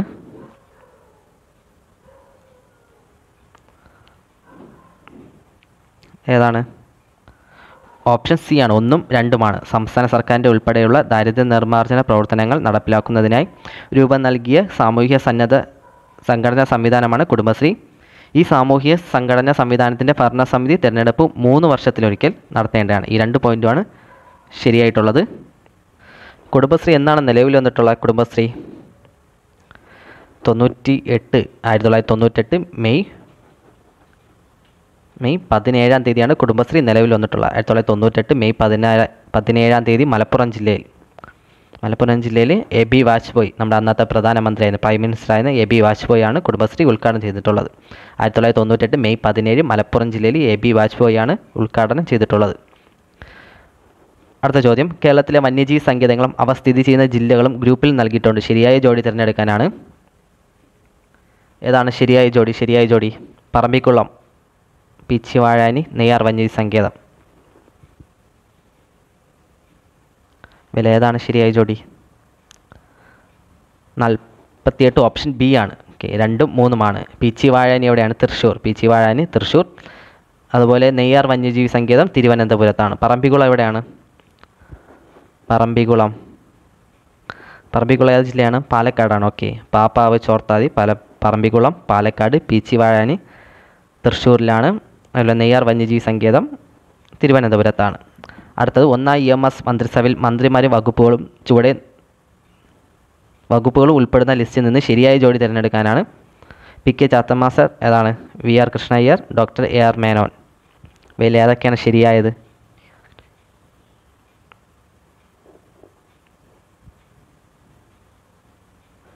ഏതൊക്കെയാണ്? ശരിയായ ജോഡി. ഓപ്ഷൻ എ ആണ്. ഒന്നും മൂന്നുമാണ്. ഒന്നും മൂന്നുമാണ്. ശരിയായ ജോഡി. ഏതാണ്? പി കെ ചാത്ത മാസ്റ്റർ തദ്ദേശ സ്വയംഭരണ വകുപ്പും അതുപോലെ ഡോക്ടർ എ ആർ മാനോൻ ആരോഗ്യവും. അതിൽ നമ്മുടെ വി ആർ കൃഷ്ണയ്യർ. ഏതൊക്കെ വകുപ്പുകളാണ്? V R Krishna Iyer V R Krishna Iyer. V for വൈദ്യുതി. ഓക്കെ വൈദ്യുതി വൈദ്യുതി ആർ ഫോർ റൂൾ നമ്മുടെ വൈദ്യുതി മന്ത്രിയും വൈദ്യുതി മന്ത്രിയും നിയമമന്ത്രിയും ആരായിരുന്നു? വി ആർ കൃഷ്ണൻ കൃഷ്ണൻ അയ്യറായിരുന്നു ഓക്കെ വൈദ്യുതിയും റൂളും അഥവാ നിയമമന്ത്രി ആരായിരുന്നു? വി ആർ കൃഷ്ണ അയ്യറായിരുന്നു അതുപോലെ ആ സമയത്ത് പ്രതിപക്ഷ നേതാവ് ആരായി ആരായിരുന്നു? പ്രതിപക്ഷ നേതാവ് പ്രതിപക്ഷ നേതാവ് P T Chacko. Okay P T Chacko ആയിരുന്നു പ്രതിപക്ഷ നേതാവ്. വി അയ്യ വി ആർ കൃഷ്ണയ്യറിന്റെ വകുപ്പുകളാണ് വൈദ്യുതി ആർ ഫോൾ റൂൾ നിയമം. നിയമവകുപ്പും വൈദ്യുതി വകുപ്പും വി ആർ കൃഷ്ണ അയ്യറായിരുന്നു അടുത്ത ചോദ്യം കേരളത്തിലെ സ്പോർട്സ് സ്റ്റേഡിയങ്ങളും അവ സ്ഥിതി ചെയ്യുന്ന ജില്ലകളും കാണിച്ചിരിക്കുന്ന ശരിയായവ കണ്ടെത്താനാണ്. നെഹ്റു സ്റ്റേഡിയം എവിടെയാണ്? Lal Bahadur Shastri stadium Jimmy George indoor stadium എവിടെയൊക്കെയാണ്? ശരിയായ ജോഡി.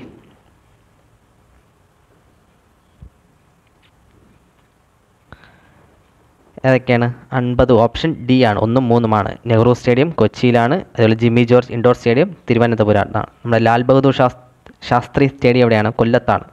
കൊല്ലം ജില്ലയാണ് ലാൽ ബഹദൂർ ശാസ്ത്രി സ്റ്റേഡിയം. അടുത്ത ചോദ്യം നവോദന നായകരും കൃതികളും ഉൾപ്പെട്ട ഗ്രൂപ്പിൽ നിന്ന് ശരിയായ ജോഡി കണ്ടെത്താനാണ് വൈകുണ്ഠസ്വാമികൾ അഖിലത്തിരുത്ത് വാക്ഫടാനന്ദൻ വിവേകാനന്ദ സന്ദേശം ചാവറ അച്ഛൻ ആത്മാനുപതാപം.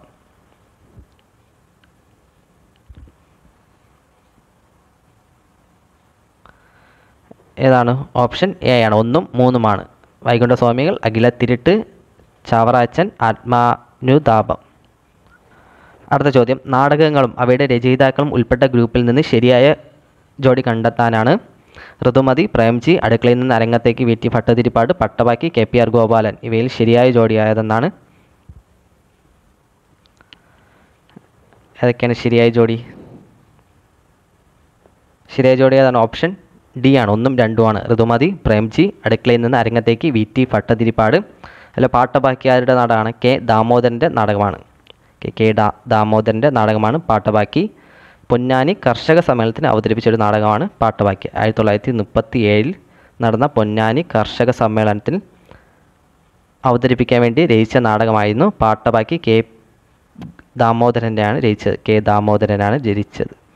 അടുത്ത ചോദ്യം. നവോത്ഥാന ചിന്തകരും യഥാർത്ഥ പേരുകളും താഴെ തന്നിരിക്കുന്നു. ശരിയായ ഉത്തരം കണ്ടെത്താനാണ് ബ്രഹ്മാനന്ദ ശിവയോഗി തൈക്കാടയ്യ ചിന്മയാനന്ദ സ്വാമികൾ. ഇത് ശരിയായ ജോഡി ഏതൊക്കെയെന്ന് കണ്ടെത്താനാണ്. ഏതാണ്?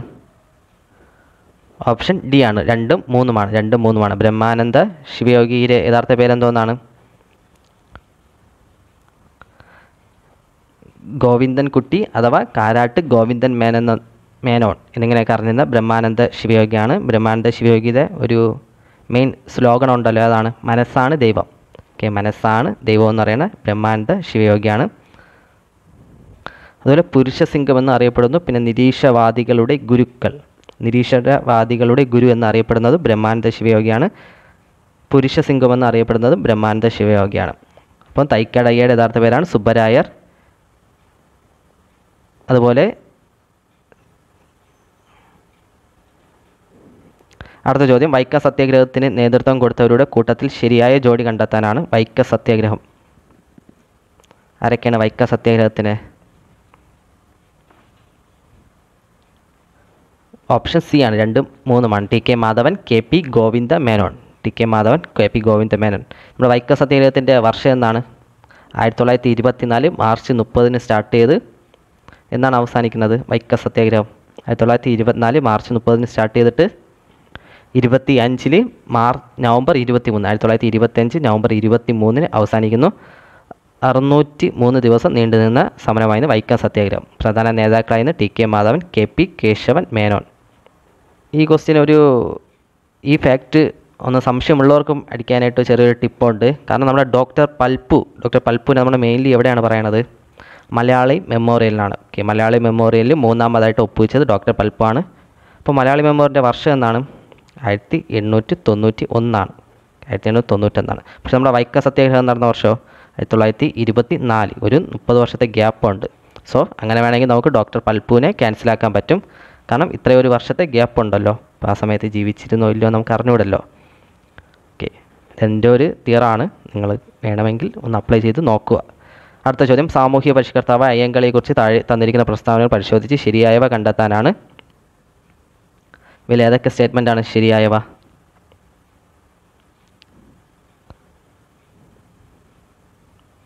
ഏതൊക്കെയാണ്? അൻപത്തിയാറ് ഓപ്ഷൻ ഡി ആണ് ഒന്നും മൂന്നുമാണ്. ആയിരത്തി എണ്ണൂറ്റി അറുപത്തി മൂന്ന് തിരുവനന്തപുരത്ത് വെങ്ങാനൂരിൽ ജനിച്ചു. അതുപോലെ ആയിരത്തി തൊള്ളായിരത്തി ഏഴിൽ സാധുജന പരിപാലന സംഘം രൂപീകരിച്ചു. പുലയരുടെ രാജാവ് നയങ്കാളിനെ വിശേഷിപ്പിച്ച ആരാണ്? ആരാണ്? താഴെ കമന്റായിട്ട് രേഖപ്പെടുത്തണം ഈ ചോദ്യത്തിന്റെ ഉത്തരം. പുലയരുടെ രാജാവെന്ന് അയ്യങ്കാളിനെ വിശേഷിപ്പിച്ച ആരെന്ന്. അൻപത്തിയേഴ് മന്നത്ത് പത്മനാഭനെ കുറിച്ച് തന്നിരിക്കുന്ന പ്രസ്ഥാനങ്ങൾ പരിശോധിച്ച് ശരിയായ ജോഡി തിരഞ്ഞെടുക്കാനാണ് നായർ സമുദായത്തിന്റെ ഉന്നമനത്തിന് വേണ്ടി നായർ വൃത്തിജന സംഘം രൂപീകരിച്ചു. വൈക്കം സത്യാഗ്രഹത്തെ പിന്തുണച്ച് മന്നത്തിന്റെ നേതൃത്വത്തിൽ സവർണജാഥ നടത്തി. ഇദ്ദേഹത്തിന്റെ ആത്മകഥയാണ് കണ്ണീരിങ്കിനാവ്.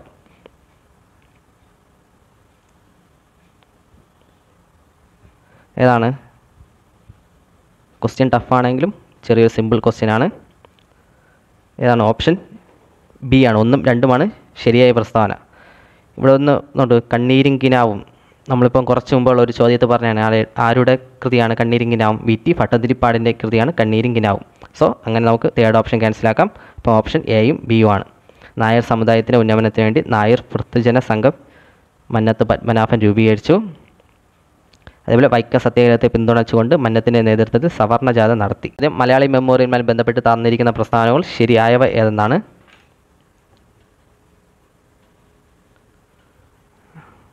ശരിയായവ ഏതെന്നാണ്?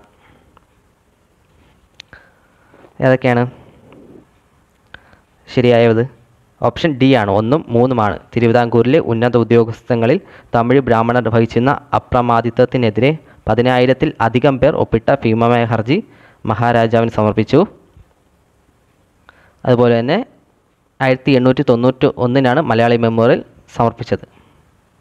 മലയാളി മെമ്മോറിയലിന് നേതൃത്വം കൊടുത്ത വ്യക്തി ആരാണ്? ഡോക്ടർ പൽപ്പോല ഡോക്ടർ പൽപ്പോല ഡോക്ടർ പൽപ്പ് മൂന്നാമതായി ഒപ്പുവെച്ചു. അത് ശരിയാണ്. പക്ഷേ നേതൃത്വം കൊടുത്തത് നമ്മുടെ ബാരിസ്റ്റർ ജി പി പിള്ളയാണ്. ബാരിസ്റ്റർ ജി പി പിള്ളയാണ് മലയാളി മെമ്മോറിയലിന് മെമ്മോറിയലിന് നേതൃത്വം കൊടുത്തത്. അതുപോലെ തന്നെ എത്ര പേരാണ് ഒപ്പുവെച്ചത്? പതിനായിരത്തി ഇരുപത്തി എട്ട് പേരാണ്. പതിനായിരത്തി ഇരുപത്തി എട്ട് പേരാണ് മലയാളി മെമ്മോറിയൽ ഒപ്പുവെച്ചത്. ആദ്യമായി ഒപ്പുവെച്ചതാണ് കെ പി ശങ്കരമേനോൻ മൂന്നാമതായി ഒപ്പുവെച്ചത് പൽപ്പുവാണ്. ഓക്കെ ബാരിസ്റ്റർ ജി പി പിള്ളയാണ് നേതൃത്വം നൽകിയത്. ഏത് രാജാവിനാണ് മലയാളി മെമ്മോറിയൽ സമർപ്പിച്ചത്? മലയാളി മെമ്മോറിയൽ ഏതിനാണ്? ശ്രീമൂലം തിരുനാളിനാണ്. ശ്രീമൂലം തിരുനാളിനാണ്.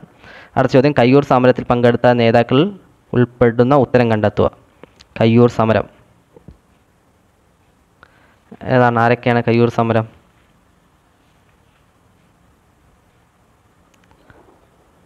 ഒന്നും രണ്ടുമാണ്. കുഞ്ഞമ്പൂവും ചീരുകണ്ഠനാണ്. കയ്യൂർ സമരമായി ബന്ധപ്പെട്ട പ്രധാന നേതാക്കൾ. കയ്യൂർ സമരത്തിന്റെ വർഷം എന്നാണ്? നാൽപ്പത്തി ഒന്ന് മാർച്ച് ഇരുപത്തി എട്ടാണ് കയ്യൂർ കയ്യൂർ നാൽപ്പത്തി ഒന്ന് മാർച്ച് ഇരുപത്തി എട്ടാണ് അതുപോലെ ജില്ല ഏതാണ്? കാസർഗോഡാണ്. കാസർഗോഡാണ് ജില്ല. കയ്യൂർ നാൽപ്പത്തി ഒന്ന് മാർച്ച് ഇരുപത്തി എട്ടാണ് മനുഷ്യരീരത്തിലെ ഏറ്റവും കഠിനമായ പദാർത്ഥം ഏതെന്നാണ്? പി എസ് സിയുടെ റിപ്പീറ്റ് ചോദ്യമാണ്. മനുഷ്യരീരത്തിലെ ഏറ്റവും കഠിനമായ പദാർത്ഥം ഏതാണ്? ഓപ്ഷൻ സി ഇനാമലാണ്. നമ്മുടെ പല്ലിന്റെ പുറത്തുള്ള ഒരു കോട്ടിംഗ് ആണ് ഇനാമൽ. പല്ലിന്റെ ഇനാമലാണ്. മനുഷ്യരിതിൽ ഏറ്റവും കഠിനമായ പദാർത്ഥം രാജകീയ രോഗം എന്നറിയപ്പെടുന്ന രോഗം. രാജകീയ രോഗം എന്നറിയപ്പെടുന്നത് രോഗം ഏതെന്നാണ്? ഏതാണ്? ഓപ്ഷൻ ഡി ആണ് ഹീമോഫിലിയ ആണ്. നമ്മുടെ സ്കർവി എന്തുകൊണ്ടാണ് രോഗം വന്നത് വൈറ്റമിൻ സിയിലെ ഡെഫിഷ്യൻസി രോഗമാണ്. സി സ്കർവി അറുപത്തിനാല്. മികച്ച ചികിത്സാ സൗകര്യങ്ങൾ മിതമായ നിരക്കിൽ ലഭ്യമാക്കി ആരോഗ്യരംഗത്ത് സർക്കാർ സേവനങ്ങൾ ജനസൗഹൃദമാക്കാൻ ലക്ഷ്യമിടുന്ന പദ്ധതി ഏതെന്നാണ്? എന്നാണ് പി എസ് സിയിലെ ഒരു ഹാർട്ട് ടോപ്പിക് തന്നെയാണ് ആ മിഷൻ. എന്നാണ് സുഖമായിട്ട് ഉത്തരം അറിഞ്ഞുകൂടെങ്കിലും ഓപ്ഷൻ ക്യാൻസലാക്കി നമുക്ക് അടിക്കാൻ പറ്റും. ഏതാണ്? ഓപ്ഷൻ എ ആർദ്രമാണ് നമ്മുടെ ലൈഫ് മിഷൻ എന്ന എന്തോന്നാണ്? ഒരു വീടുകൾ വെച്ച് കൊടുക്കുക. അങ്ങനെ ബേസിക് സ്ട്രക്ചർ വള മികവിന് വേണ്ടിയാണ് ലൈഫ്. അത് ഹരിത കേരളം പരിസ്ഥിതിയുമായി ബന്ധപ്പെട്ടാണ്. ആർദ്ര മിഷൻ ആണ് മികച്ച ചികിത്സാ സൗകര്യങ്ങൾ മിതമായ നിരക്കിൽ ലഭ്യമാക്കി ആരോഗ്യ രംഗത്ത് സർക്കാർ സേവനങ്ങൾ ജനസൗഹൃദമാക്കാൻ ലക്ഷ്യമിടുന്ന പദ്ധതി. അടുത്ത ചോദ്യം കണ്ണിന്റെ സുഗമമായ പ്രവർത്തനത്തിന് ഉള്ള വൈറ്റമിനാണ് കണ്ണിന്റെ ആരോഗ്യത്തിന് ഏത് വൈറ്റമിനാണ് ഏതാണ്? ഓപ്ഷൻ ഡി വൈറ്റമിൻ എ ആണ്. വൈറ്റമിൻ എയുടെ ശാസ്ത്രീയ നാമമാണ് റെറ്റിനോൾ. വൈറ്റമിൻ എയുടെ സയന്റിഫിക് നെയിമാണ് റെറ്റിനോൾ. കണ്ണിന്റെ ആരോഗ്യത്തിന് വൈറ്റമിൻ എ ആണ്. വൈറ്റമിൻ എയുടെ ഡെഫിഷ്യൻസി രോഗങ്ങളാണ്. അതൊക്കെയാണ് സിറോഫ് താൽമിയയും നിശാന്തത അഥവാ night blindness okay vitamin D എന്തിനാണ് ആരോഗ്യിക്കാൻ? എല്ലിന്റെയും പല്ലിന്റെ ആരോഗ്യത്തിന് വൈറ്റമിൻ ഡി ആണ്. വൈറ്റമിൻ സി എന്തിനാണ്? മുറിവ് ഉണക്കാൻ സഹായിക്കുന്നത് വൈറ്റമിൻ സി ആണ്. മുറിവ് ഉണക്കാൻ സഹായിക്കുന്നത് വൈറ്റമിൻ സി ആണ്. അല്ല വൈറ്റമിൻ കെ എന്തിനാണ്? രക്തം കട്ടപിടിക്കാൻ വൈറ്റമിൻ കെ ആണ്. അടുത്ത ചോദ്യം. കേരളത്തിലെ പ്രധാന കാർഷിക ഗവേഷണ സ്ഥാപനങ്ങളും അവയുടെ ആസ്ഥാനങ്ങളും ചുവടെ നൽകിയിരിക്കുന്നത് ശരിയായവ ഏതെന്നാണ്? ഏതൊക്കെയാണ് ശരിയായവ?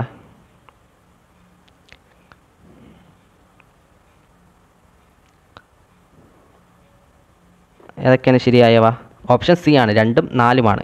Indian institute of spices research കോഴിക്കോടും അതിൽ കേരള കാർഷിക യൂണിവേഴ്സിറ്റി മണ്ണുന്തി തൃശ്ശൂറാണ് അടുത്ത കേന്ദ്ര കിഴങ്ങ് ഗവേഷണ കേന്ദ്രം എവിടെയാണ്? കിഴങ്ങ് ഗവേഷണ കേന്ദ്രം ശ്രീകാര്യം തിരുവനന്തപുരം അതുപോലെ കേന്ദ്ര തോട്ടവിള ഗവേഷണ കേന്ദ്രം കാസർഗോഡ്. ഓക്കെ നമ്മുടെ ഈ തോട്ടയൊക്കെ എന്തിനാണ് ഉപയോഗിക്കുന്നത്? തോട്ട മെയിൻലി തോട്ടയൊക്കെ എന്തിനാണ്? ഏറ്റവും നല്ല ഹൈറ്റുള്ള ഒരു എന്തെങ്കിലും എടുക്കാൻ വേണ്ടിയല്ലേ? അപ്പം നമുക്ക് ബേസിക്കലി ഒരു കേരളത്തിന്റെ മാപ്പ് നോക്കുമ്പോൾ ഏറ്റവും മുകളിലായിട്ട് നമുക്ക് തോന്നുന്ന ഏതാണ്? കാസർഗോഡ് അല്ലേ അപ്പം കേന്ദ്ര തോട്ടവിള കാസർഗോഡ് അങ്ങനെ നീളത്തിൽ വെച്ചിരുന്നാൽ മതി. അല്ലെ കിഴങ്ങ് വിള കാര്യം ഓക്കെ കിഴങ്ങ്. അടുത്ത ചോദ്യം താഴെ പറയുന്നവയിൽ കേരളത്തിലെ നെല്ലിനങ്ങൾ ഏതൊക്കെയെന്നാണ്?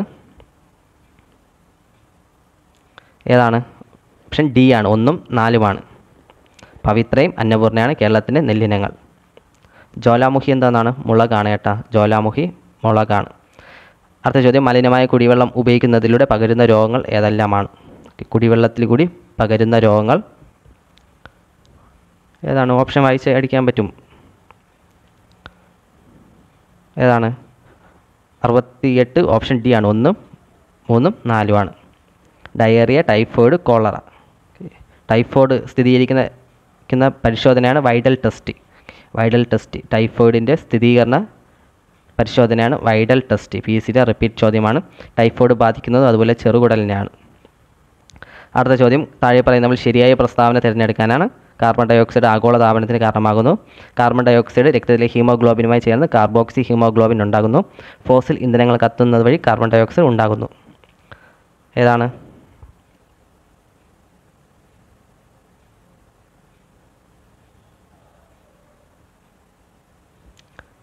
അറുപത്തി ഒമ്പത് ഓപ്ഷൻ എ ആണ്. ഒന്നും മൂന്നുമാണ് ഒന്നും മൂന്നുമാണ് അടുത്ത ചോദ്യം. താഴെ പറയുന്നവരിൽ തെറ്റായ ജോഡി തിരഞ്ഞെടുക്കാനാണ്. സ്റ്റേറ്റ്മെന്റുകൾ ഓരോ നോക്കുക. കറക്റ്റ് ആണോ നോക്കുക. ശരിയായ ഓപ്ഷൻ തിരഞ്ഞെടുക്കുക. ഒരു മാർക്ക് നേടുക. റാങ്ക് ലിസ്റ്റിൽ മുന്നിലേക്ക് വരിക. എഴുപത് ഓപ്ഷൻ ബി ആണ്. മൂന്നും നാലുമാണ് ഇരവികുളം വന്യജീവി സങ്കേതമാണ്. നെയ്യാർ നെയ്യാർ ഏതാണ്? ദേശീയോദ്യാനം. ഈ രണ്ട് പോർഷൻസാണ് തെറ്റായത്.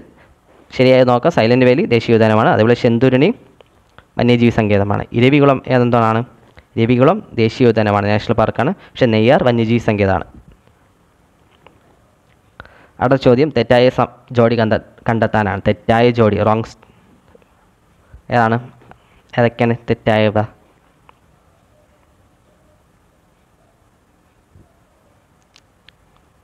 ഏതാണ്? ഓപ്ഷൻ ബി ആണ്. ഓക്കെ വൈറ്റമിൻ സി ആണ്.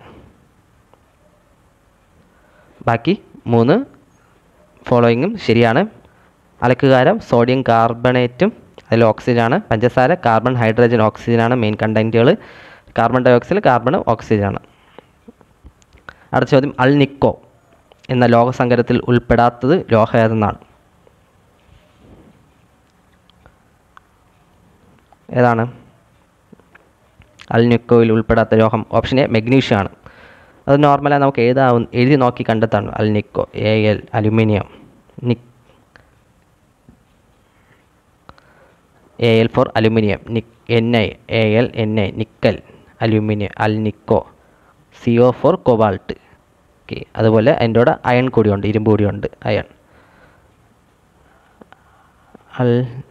Alnico aluminium nickel cobalt. ഇവിടെ ഒരു ഐ കൂടിയുണ്ട് അയൺ. അടുത്ത ചോദ്യം താഴെ കൊടുത്തിരിക്കുന്ന ഉപലോഹങ്ങളുടെ വിഭാഗത്തിൽപ്പെടുന്നവ ഏതെന്നാണ്? ഉപലോഹങ്ങളുടെ വിഭാഗത്തിൽപ്പെടുന്നത്. ഏതാണ്? എഴുപത്തിമൂന്ന് ഓപ്ഷൻ ഡി ആണ്. ജർമ്മനി സിലിക്കൺ ഒക്കെയാണ് പറഞ്ഞതാണ് ഉപലോഹങ്ങളുടെ കൂട്ടത്തിൽപ്പെടുന്നത്. അടുത്ത ചോദ്യം സിങ്കും നേർത്ത ഹൈഡ്രോക്ലോറിക് ആസിഡും തമ്മിൽ പ്രവർത്തിക്കുമ്പോൾ ഉണ്ടാകുന്ന വാതകം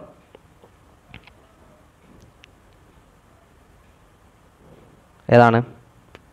ഓപ്ഷൻ സി ഹൈഡ്രജൻ ആണ്. ഏതെങ്കിലും ഒരു ആസിഡും വേറെ എന്തെങ്കിലും മെറ്റലുമായിട്ട് റിയാക്ട് ചെയ്യുമ്പോൾ ഹൈഡ്രജൻ വാതകം പുറത്തേക്ക് വരുന്നുണ്ട്. എഴുപത്തഞ്ച് രാസവസ്തുക്കളുടെ രാജാവ് എന്നാണ് സൾഫ്യൂരിക് ആസിഡ് അറിയപ്പെടുന്നത്. നമ്മുടെ നിത്യജീവിതത്തിൽ എന്തെല്ലാം സന്ദർഭങ്ങളിലാണ് സൾഫ്യൂരിക് ആസിഡ് ഉപയോഗിക്കുന്നത്? ഏതാണ്?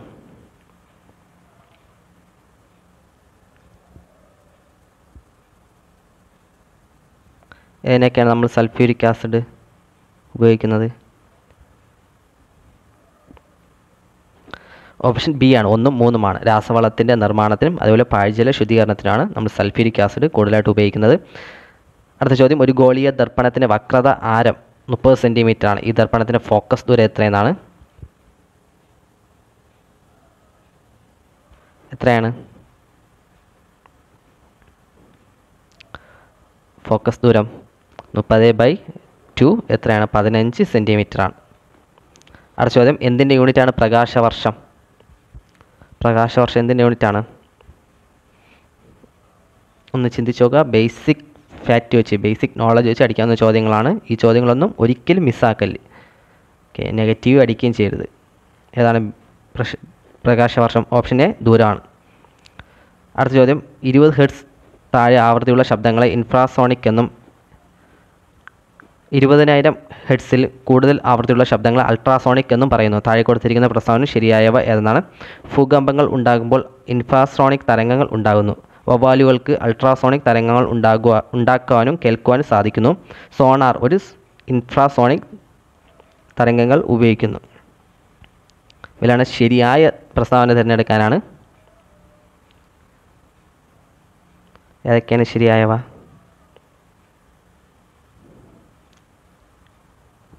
ഓപ്ഷൻ ബി ആണ്. ഒന്നും രണ്ടുമാണ്. ഭൂകമ്പങ്ങൾ ഉണ്ടാകുമ്പോൾ ഇൻഫ്രാസോണിക് തരംഗങ്ങളാണ് ഉണ്ടാകുന്നത്. അതുപോലെ തന്നെ വവ്വാലുകളും അൾട്രാസോണിക് തരംഗങ്ങൾ ഉണ്ടാക്കുവാനും കേൾക്കാനും പറ്റും. ഇവിടെ സോണാറിൽ ഏത് തരംഗങ്ങളാണ് ഉപയോഗിക്കുന്നത്? അൾട്രാസോണിക് തരംഗങ്ങളാണ്. ഓക്കെ സോണാറിൽ അൾട്രാട്രോണിക് അൾട്രാസോണിക് തരംഗങ്ങളാണ് സോണാറിൽ ഉപയോഗിക്കുന്നത്. സോണാറിന്റെ ഫുൾ ഫോം എന്താണ് സോണാറിന്റെ full form sound navigation and ranging ആണ്. Okay sound navigation and ranging ആണ്. അതുപോലെ അൾട്രാസോണിക് തരംഗങ്ങളാണ് ഉപയോഗിക്കുന്നത്. അടുത്ത ചോദ്യം. നെഗറ്റീവ് പ്രവൃത്തിക്ക് ഉദാഹരണങ്ങൾ ഏവയെന്നാണ്. നെഗറ്റീവ് പ്രവൃത്തിക്ക് ഒരു വസ്തു താഴേക്ക് വീഴുമ്പോൾ ഗുരുത്വാകർഷണ ബലം ചെയ്യുന്ന പ്രവൃത്തിയാണ് നെഗറ്റീവ് പ്രവൃത്തി ഒരു വസ്തു ഉയർത്തുമ്പോൾ ഗുരുത്വാകർഷണ ബലം ചെയ്യുന്ന പ്രവൃത്തിയാണ് ഒരു വസ്തു ചരിവ് ബലത്തിലൂടെ താഴേക്ക് നിരങ്ങുമ്പോൾ ഹർഷണ ബലം ചെയ്യുന്ന പ്രവൃത്തിയാണ് വിലയവയ്ക്കാണ് നെഗറ്റീവ് പ്രവൃത്തി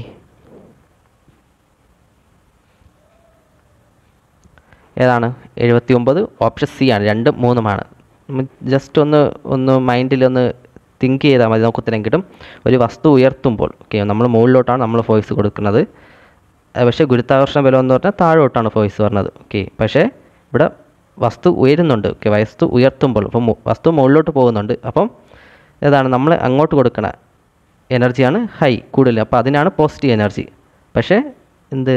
ഗ്രാവിറ്റേഷണൽ ഫോഴ്സ് അവിടെ എന്താണ്? അപ്പം നെഗറ്റീവ് എനർജി ആയിട്ടാണ് ആക്ട് ചെയ്യണത് അതേപോലെ നമ്മുടെ ചരിവ് ബലത്തിൽ ഒരു ഹർഷണ ബലം ഒരു ഫ്രിക്ഷൻ വരുമ്പോൾ ആ ഫ്രിക്ഷൻ ബലം ചെയ്യുന്നതും ഒരു നെഗറ്റീവ് പ്രവൃത്തിയാണ് അടുത്ത ചോദ്യം. നിശ്ചലാവസ്ഥയിലുള്ള ഒരു ലോറിയുടെ പ്രവേഗം അഞ്ച് സെക്കൻഡ് കൊണ്ട് മുപ്പത് മീറ്റർ പെർ സെക്കൻഡ് ആയ ലോറിയുടെ ത്വരണം എത്രയെന്നാണ്? എത്രയാണ് ത്വരണം ലോറിയുടെ? എത്രയാണ് ഉത്തരം? ഓപ്ഷൻ ഡി ആണ്. ഓക്കെ ഓപ്ഷൻ ഡി ആറ്. മീറ്റർ പെർ സെക്കൻഡ് സ്ക്വയർ ആണ്. ഇതിന്റെ ഫോർമുല എന്തോന്നാണ്? വെലോസിറ്റി ബൈ ടൈം ആണ്. ഓക്കെ വെലോസിറ്റി ഇവിടെ എത്രയാണ്? മുപ്പത് ആണ്. അതേപോലെ തന്നെ ടൈം അഞ്ചാണ്. ഫിസിക്കൽ ടു ആറ് കിട്ടും ഉത്തരം. അടുത്ത ചോദ്യം ഇന്ത്യയിലെ ആദ്യത്തെ ട്രാൻസ്ജെൻഡർ ഫുട്ബോൾ ടീം സ്ഥാപിച്ച സംസ്ഥാനം. ട്രാൻസ്ജെൻഡർ ഫുട്ബോൾ ടീം സ്ഥാപിച്ച സംസ്ഥാനം ഏതെന്നാണ്? ഏതാണ്? ഓപ്ഷൻ ബി മണിപ്പൂരാണ്. അടുത്ത ചോദ്യം ഇന്ത്യയുടെ രണ്ടാമത്തെ ചന്ദ്ര പരിവേഷണ ദൗത്യമായി ചന്ദ്രയാൻ ടു വിക്ഷേപിച്ചതെന്നാണ്. ചന്ദ്രയാൻ ടു വിക്ഷേപിച്ചതെന്നാണ്. ഡി ആണ് ആയിരത്തി തൊള്ളായിരത്തി സോറി രണ്ടായിരത്തി പത്തൊമ്പത് ജൂലൈ ഇരുപത്തി രണ്ടിനാണ് അപ്പോൾ നമുക്ക് ഫസ്റ്റ് ക്വസ്റ്റ്യൻ ഒന്നാമത്തെ ചോദ്യം താഴെ പറയുന്ന പ്രസ്ഥാനങ്ങളിൽ ഇന്ത്യയുടെ വിദേശ നയത്തിന്റെ പ്രധാന തത്വങ്ങളിൽ പെടുന്നവ ഏതെന്നാ ഏതെല്ലാം എന്നാണ് പെടുന്നവയാണ്. സ്റ്റേറ്റ്മെന്റ് വായിച്ചു നോക്കുക. ഒന്നാമത്തെ സ്റ്റേറ്റ്മെന്റ് സമാധാനപരമായ സഹവർത്തിത്വം.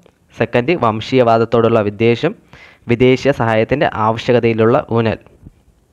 ഇവയിൽ ഏതൊക്കെയാണ് കറക്റ്റ് സ്റ്റേറ്റ്മെന്റ് ഇന്ത്യയുടെ വിദേശ നയവുമായി ബന്ധപ്പെട്ട സ്റ്റേറ്റ്മെന്റ് കൃത്യമായി വായിച്ചു നോക്കുക.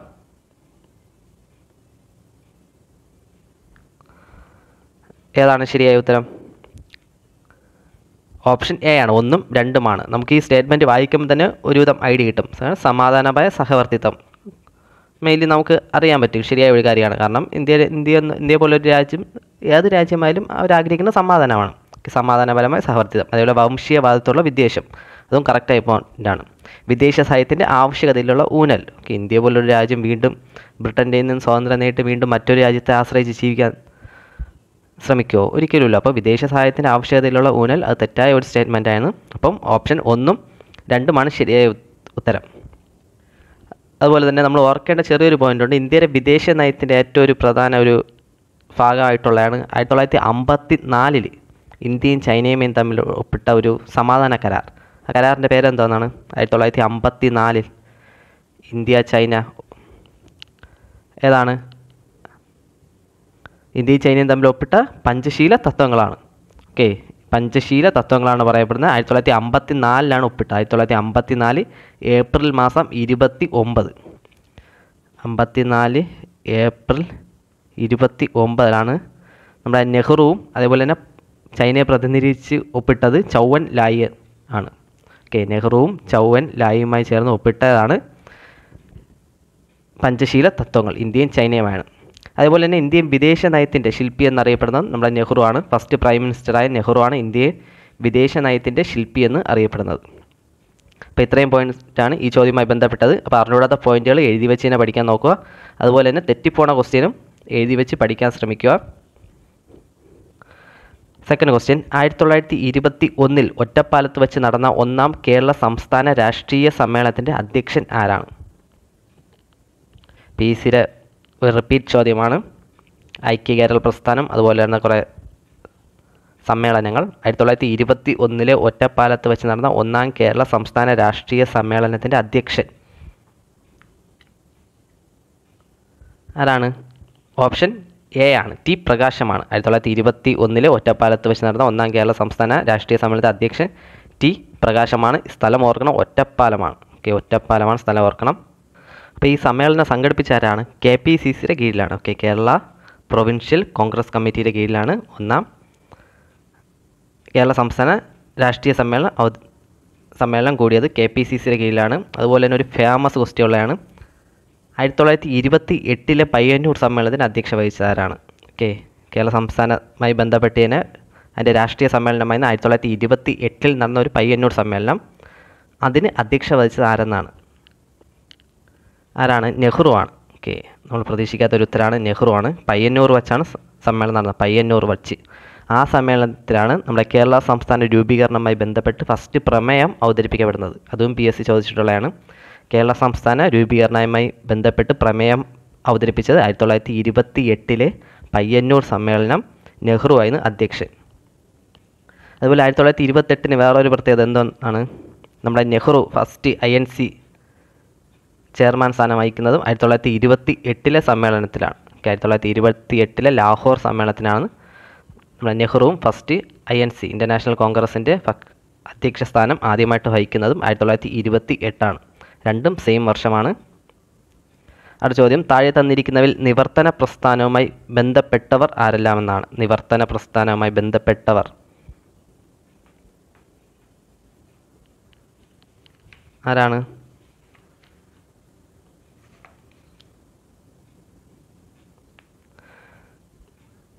ഓപ്ഷൻ ബി ആണ്. ഒന്നും രണ്ടും നാലുമാണ്.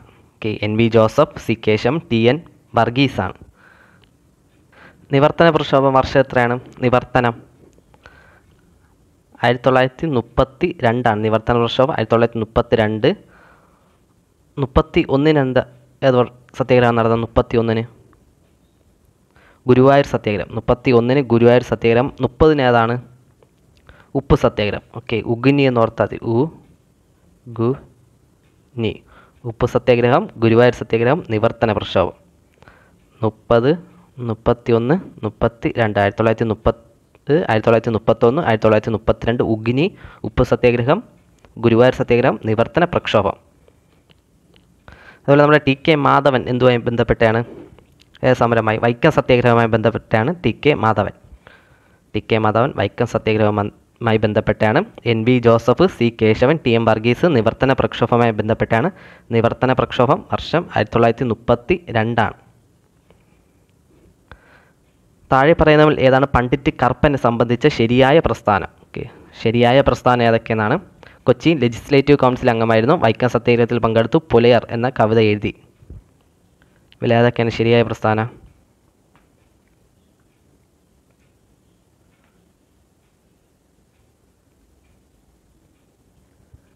ഏതാണ്? ഓപ്ഷൻ സി ആണ്. ഒന്നും മൂന്നുമാണ്. കൊച്ചി ലെജിസ്ലേറ്റീവ് കൗൺസിൽ അംഗമായിരുന്നു. അതുപോലെ പുലയർ എന്ന കവിത എഴുതിയതും പണ്ഡിറ്റ് കെ പി കർപ്പനാണ്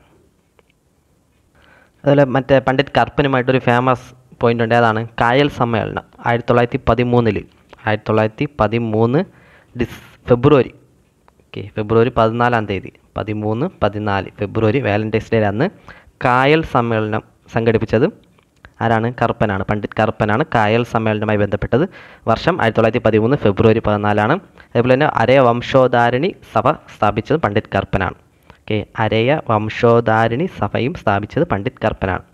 ഈ രണ്ട് പോയിന്റാണ് പണ്ഡിറ്റ് കറുപ്പനുമായിട്ട് മെയിനായിട്ട് ഓർത്ത് വയ്ക്കേണ്ട പോയിന്റുകൾ നമുക്ക് അടുത്ത ചോദ്യം നോക്കാം. ഇന്ത്യൻ അസോസിയേഷന്റെ സ്ഥാപകൻ ആരാണ് ഇന്ത്യൻ അസോസിയേഷന്റെ സ്ഥാപകൻ.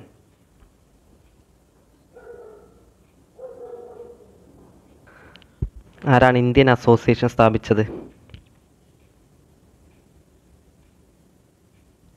അഞ്ച് ഓപ്ഷൻ എ ആണ് സുരേന്ദ്രനാഥ ബാനർജിയാണ്. ധർമ്മസഭ സ്ഥാപിച്ചത് ആരാണ്? ധർമ്മസഭ. ധർമ്മസഭ എന്ന പ്രസ്ഥാനം സ്ഥാപിച്ചത് രാധാകാന്ത് ദേവാണ്. ഓക്കെ രാധാകാന്ത് ദേവാണ് ധർമ്മസഭ എന്ന പ്രസ്ഥാനം ആരംഭിച്ചത്. അതേപോലെ തന്നെ നൗജവാൻ ഭാരത് സഭ ആരാണ്? അറിയായിരിക്കും കൊമ്പൻ മീശയൊക്കെയുള്ള ഭഗത് സിംഗ് ആണ്. ഓക്കെ നൗജവാൻ ഭാരത് സഭ ആരംഭിച്ചത് ഭഗത് സിംഗ് ആണ്. നമ്മളറിയാം പി എസ് സിയുടെ സ്ഥിരം ചോദ്യം ഹരിജൻ സേവക് സംഘം ആരാണ് ഹരിജൻ കേട്ട? ഗാന്ധിജി. ഹരിജൻ സേവക് സംഘം ആരംഭിച്ചത് മഹാത്മാഗാന്ധിജിയാണ് അതുപോലെ നൗജവാൻ ഭാരത് സഭ ആരംഭിച്ചത് ഭഗത് സിംഗ് ആണ് ധർമ്മസഭ ധർമ്മസഭ ആരംഭിച്ചത് രാധാകാന്ത് ദേവാണ്. അടുത്ത ചോദ്യം നോക്കാം. ഷാങ്ഹായ് സഹകരണ സംഘടനയിൽ ഉൾപ്പെടാത്ത രാജ്യം ഏതെന്നാണ്? ഷാങ്ഹായ് സഹകരണ സംഘടനയിൽ ഉൾപ്പെടാത്ത രാജ്യം ഏതെന്നാണ്?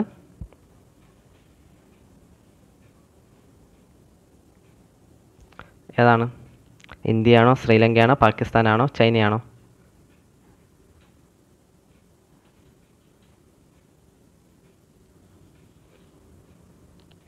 ആരൊക്കെയാണ്? ഇന്ത്യ മെമ്പറാണ് പാകിസ്ഥാൻ ചൈന മെമ്പറാണ് ശ്രീലങ്കയാണ് മെമ്പർ അല്ലാത്തത് അപ്പോൾ ശ്രീലങ്കയാണ് ശരിയായ ഉത്തരം. ഷാങ്ഹായ് സഹകരണ സംഘടനയിൽ ഉൾപ്പെടാത്ത രാജ്യം ശ്രീലങ്കയാണ്. ഇന്ത്യ പാകിസ്ഥാൻ ചൈന തുടങ്ങിയ എട്ട് രാജ്യങ്ങൾ അതിൽ മെമ്പേഴ്സാണ് ഓക്കെ എട്ട് രാജ്യങ്ങൾ. ഷാങ്ഹായ് സഹകരണ സംഘടന നിലവിൽ വന്ന വർഷം എന്നാണ്? രണ്ടായിരത്തി ഒന്നാണ് രണ്ടായിരത്തി ഒന്നാണ് തലസ്ഥാനം ഹെഡ് ക്വാർട്ടേഴ്സ് ചൈനയിലെ ബീജിംഗ് ആണ് ഓക്കെ ചൈനയിലെ ബീജിംഗ് ആണ് ഹെഡ് ക്വാർട്ടേഴ്സ് രണ്ടായിരത്തി ഒന്നിലാണ് ഷാങ്ഹായ് സഹകരണ സംഘം നിലവിൽ വരുന്നത് എട്ട് രാജ്യങ്ങളുണ്ട്. നമുക്ക് ആ എട്ട് രാജ്യങ്ങൾ ഏതൊക്കെ നോക്കാം? ഓർത്ത് വയ്ക്കാൻ ചെറിയൊരു കോഡ് നമുക്ക് നോക്കാം. പി എസ് സി ഇനി ഇത് ചോദിക്കാൻ സാധ്യതയുണ്ട്. കാരണം ഒരിക്കൽ ചോദിച്ചതാണ്. സോ ഇനി ചോദിച്ചാൽ ആ ഒരു മാർക്ക് നമുക്ക് പോകരുത്. ഓക്കെ അപ്പോൾ അതനുസരിച്ച് പഠിക്കണം. വർഷം രണ്ടായിരത്തി ഒന്നാണ് ആസ്ഥാനം ബീജിംഗ് ചൈനയാണ്. എട്ട് രാജ്യങ്ങളുണ്ട്. ആ എട്ട് രാജ്യങ്ങളെ നോക്കാം. ചെറിയൊരു കോഡാണ് ഓർത്ത് വയ്ക്കുക. R I P tuck R I P tuck T U C K. ടക്കിനൊരു square കൂടി കൊടുക്കണം. ഓക്കെ. അതായത് രണ്ട് കെ ഉണ്ട് അർത്ഥം. ഓക്കെ എട്ട് രാജ്യങ്ങളായല്ലോ. അഞ്ച്. ആർ ഫോർ എന്താണ്? Russia. R for Russia. I for അറിയാലോ ഇന്ത്യ പി ഫോർ പാകിസ്ഥാൻ. അപ്പോൾ റഷ്യ ഇന്ത്യ പാകിസ്ഥാൻ. ഓക്കെ മൂന്ന് രാജ്യങ്ങൾ. Russia India Pakistan. അടുത്ത് ടക്സ്. ടക്ക് എന്താണ് താജിക്കിസ്ഥാനാണ് T okay താജിക്കിസ്ഥാനാണ് T U for Uzbekistan. Okay Tajikistan Uzbekistan C for China. അറിയാലോ? K for എന്തിനാണ്? രണ്ട് കെ ഉണ്ട്. ഒന്ന് രണ്ടും സെയിം പേരുകളാണ് പറഞ്ഞത് നെയ്മിന്. ഒന്ന് കസാക്കിസ്ഥാനും അടുത്തത് കിർഗിസ്ഥാനും. Okay. T for Tajikistan U for Uzbekistan C for China K for കിർഗിസ്ഥാനും കസാക്കിസ്ഥാനും. അങ്ങനെ എട്ട് രാജ്യങ്ങളാണുള്ളത്. ഓക്കെ എട്ട് രാജ്യങ്ങൾ. ഒന്നുകൂടി പറഞ്ഞു നോക്കാൻ പേര്. Russia India Pakistan. Tajikistan U for Uzbekistan. C for China Kyrgyzstan Kazakhstan. Okay തുടങ്ങിയ എട്ട് രാജ്യങ്ങളാണ് ഷാങ്ഹായ് സഹകരണ സംഘടനയിലുള്ളത് രണ്ടായിരത്തി ഒന്നാണ് വർഷം. ബീജിംഗ് ആണ് ആസ്ഥാനം. എട്ട് മെമ്പേഴ്സാണ് ഉള്ളത് അവിടെ ചോദ്യം ആൻഡമാൻ ദ്വീപസമൂഹത്തിൽ നിക്കോബാർ ദ്വീപസമൂഹത്തെയും തമ്മിൽ വേർതിരിക്കുന്ന സമുദ്രഭാഗം ഏതെന്നാണ്? ആൻഡമാനെ നിക്കോബാറിനെയും വേർതിരിക്കുന്ന സൗ സമുദ്രഭാഗം ഏതെന്നാണ്? പാക്ക് കടലിലേക്ക് ten degree channel English channel eleventh degree channel ഏതാണ്?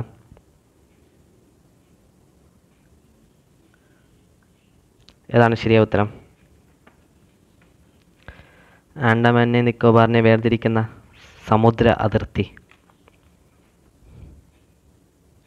ഏതാണ് ആൻഡമാൻ നിക്കോബാറിനെ വേർതിരിക്കുന്നത്? ഓപ്ഷൻ ബി ആണ്. ടെൻ ഡിഗ്രി ചാനലാണ്. ഓക്കെ ടെൻ ഡിഗ്രി ചാനലാണ് ആൻഡമാനെ നിക്കോബാറിനെ വേർതിരിക്കുന്നത്. പാക്ക് കടലെടുക്ക് ഏതൊക്കെ രാജ്യങ്ങൾ തമ്മിൽ വേർതിരിക്കുന്നതാണ് പാക്ക്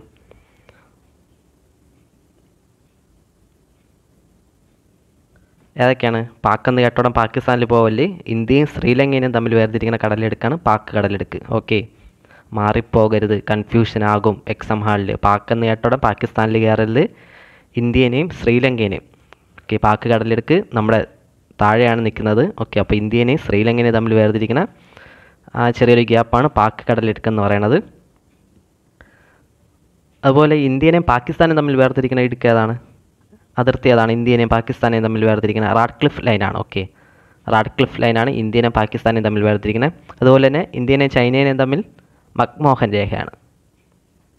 ഇന്ത്യനെയും ചൈനേനെയും തമ്മിൽ മക്മോഹൻ രേഖയാണ്. ഓക്കെ മൂന്ന് പോയിന്റ് ഓർത്ത് വയ്ക്കണം. ഇന്ത്യനെയും പാകിസ്ഥാനെയും തമ്മിൽ റാഡ്ക്ലിഫും ഇന്ത്യനെയും ചൈനേനെയും തമ്മിൽ മക്മോഹൻ ഇതാണ്.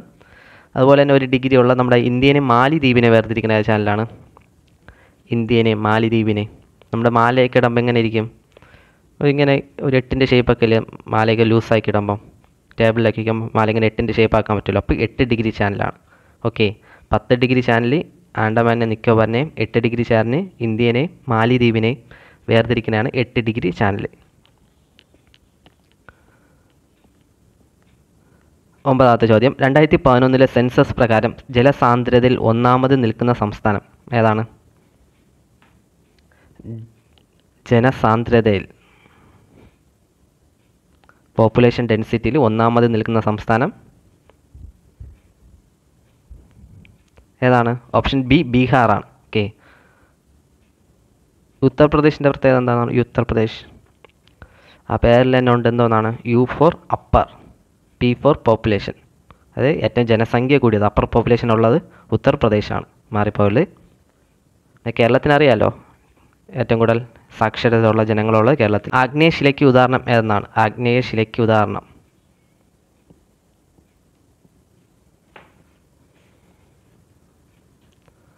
ആഗ്നേയശിലയ്ക്ക് ഉദാഹരണം ഏതാണ്?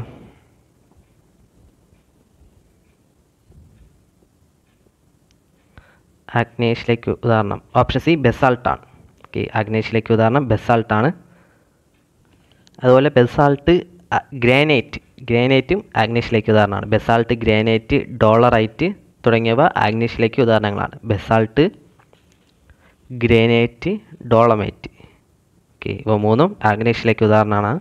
അതുപോലെ മാർബിൾ ഏതിലേക്ക് ഉദാഹരണമാണ്. മാർബിൾ മാർബിൾ മാർബിൾ ഏതിലേക്ക് ഉദാഹരണമാണ്. മാർബിൾ കായാന്തര ശിലയ്ക്ക് ഉദാഹരണമാണ്. ഓക്കെ കായാന്തര ശിലയ്ക്ക് ഉദാഹരണമാണ് മാർബിൾ അതുപോലെ ഷെയ്ല് ശിലയ്ക്ക് ഉദാഹരണമാണ്? ഷെയിൽ. ഷെയിലും കളിമണ്ണും ഒക്കെ അവസാദ ശിലയ്ക്ക് ഉദാഹരണങ്ങളാണ്. ഷെയിൽ കളിമണ്ണ് തുടങ്ങിയവ അവസാദ ശിലയ്ക്ക് ഉദാഹരണം. മാർബിൾ കായാന്തര ശിലയ്ക്ക് ഉദാഹരണം. അല്ല ബെസാൾട്ട് ഗ്രാനൈറ്റ് ഡോളറൈറ്റ് തുടങ്ങിയവ ഇത് ആഗ്നേയശിലയ്ക്ക് മാതൃശില എന്നറിയപ്പെടുന്ന ആഗ്നേയശിലയ്ക്ക് ഉദാഹരണങ്ങളാണ്. അടുത്ത ചോദ്യം ഇന്ത്യയുടെ അക്ഷാംശ വ്യാപ്തി എത്രയാണ്? ഇന്ത്യയുടെ അക്ഷാംശ വ്യാപ്തി എത്രയാണ്?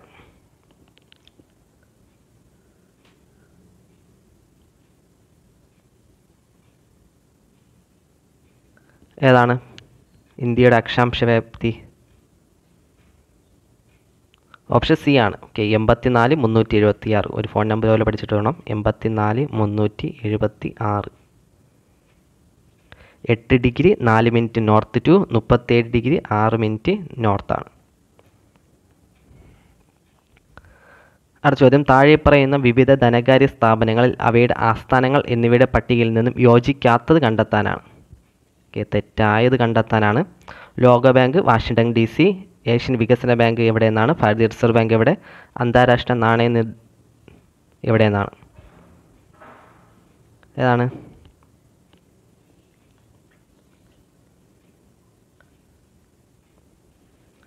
ഏതാണ് ഉത്തരം?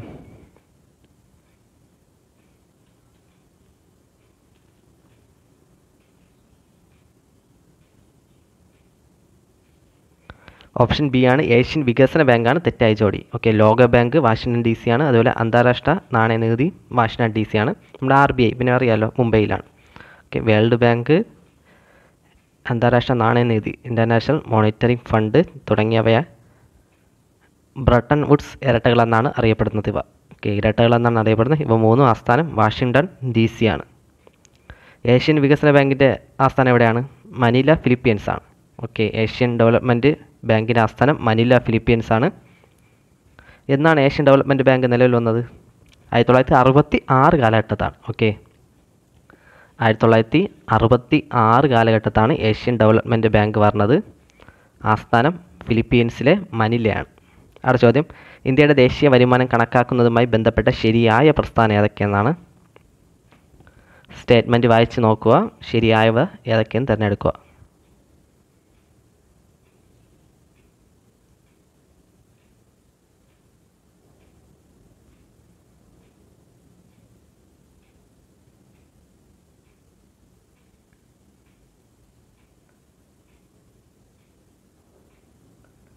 ഏതാണ്? ശരിയായ ഉത്തരം. ഓപ്ഷൻ ഡി ആണ്. മൂന്ന് പോയിന്റ് ശരിയാണ്. ഇന്ത്യയെ ഇവിടെ ദേശീയ വരുമാനം കണക്കാക്കുന്നതിനായി ആയിരത്തി തൊള്ളായിരത്തി നാൽപ്പത്തി ഒമ്പതിൽ ഇന്ത്യൻ നാഷണൽ ഇൻകം കമ്മിറ്റി രൂപീകരിച്ചു. അതേപോലെ ഇന്ത്യയിൽ ആദ്യമായി ദേശീയ വരുമാനം കണക്കാക്കുന്നത് ദാദാഭായ് നവറോജാണ് ദേശീയ വരുമാനം കണക്കാക്കുന്നതിന് വേണ്ടി ഉൽപ്പന്ന രീതിയും വരുമാന രീതിയും ഉപയോഗിക്കുന്നുണ്ട്. വ്യാപാര സംഘടനയുമായി ബന്ധപ്പെട്ട താഴെ പറയുന്ന പ്രസ്ഥാനങ്ങൾ പരിശോധിച്ച് ശരിയായവ കണ്ടെത്താനാണ് പ്രസ്താവനകൾ നോക്കുക ശരിയായവ കണ്ടെത്താനാണ്.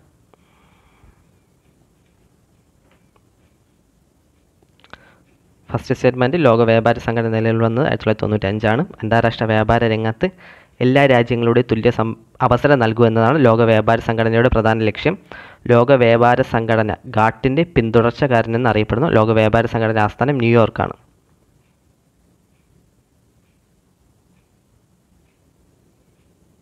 ഇതിൽ ഏതൊക്കെയാണ് ശരിയായ പ്രസ്താവന എന്നാണ്? ഏതൊക്കെയാണ് ശരിയായ പ്രസ്താവന ഒന്നാമത്തെയും രണ്ടാമത്തെ മൂന്നാമത്തെ സ്റ്റേറ്റ്മെന്റ് ആണ് കറക്റ്റ് ആയത്. ലോക വ്യാപാര സംഘടന ആസ്ഥാനം എവിടെയാണ്? ന്യൂയോർക്ക് അല്ല.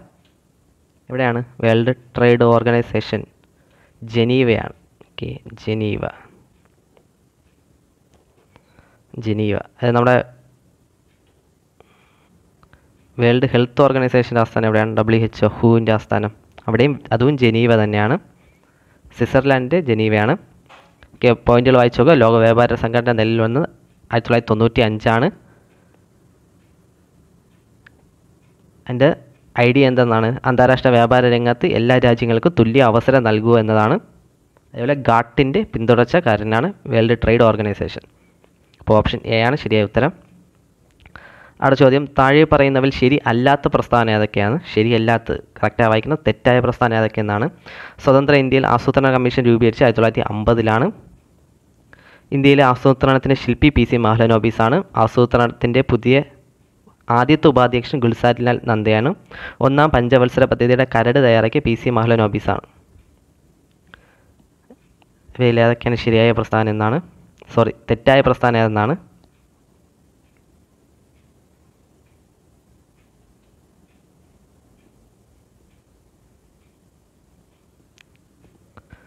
ഏതാണ്? തെറ്റായ പ്രസ്ഥാനം ഓപ്ഷൻ ഡി ആണ്. ഒന്നാം പഞ്ചവത്സര പദ്ധതിയുടെ കരട് തയ്യാറാക്കിയ പി സി മഹലനോബീസ് അല്ല നമ്മുടെ മലയാളിയായ കെ എൻ രാജാണ് കെ കെ എൻ രാജ് എന്നറിയപ്പെടുന്ന ഒരു മലയാളിയാണ് ഒന്നാം ഫർണാടൻ സോറി ഒന്നാം പഞ്ചവത്സര പദ്ധതിയുടെ ആമുഖം തയ്യാറാക്കിയത് കെ എൻ രാജ് എന്ന വ്യക്തിയാണ്.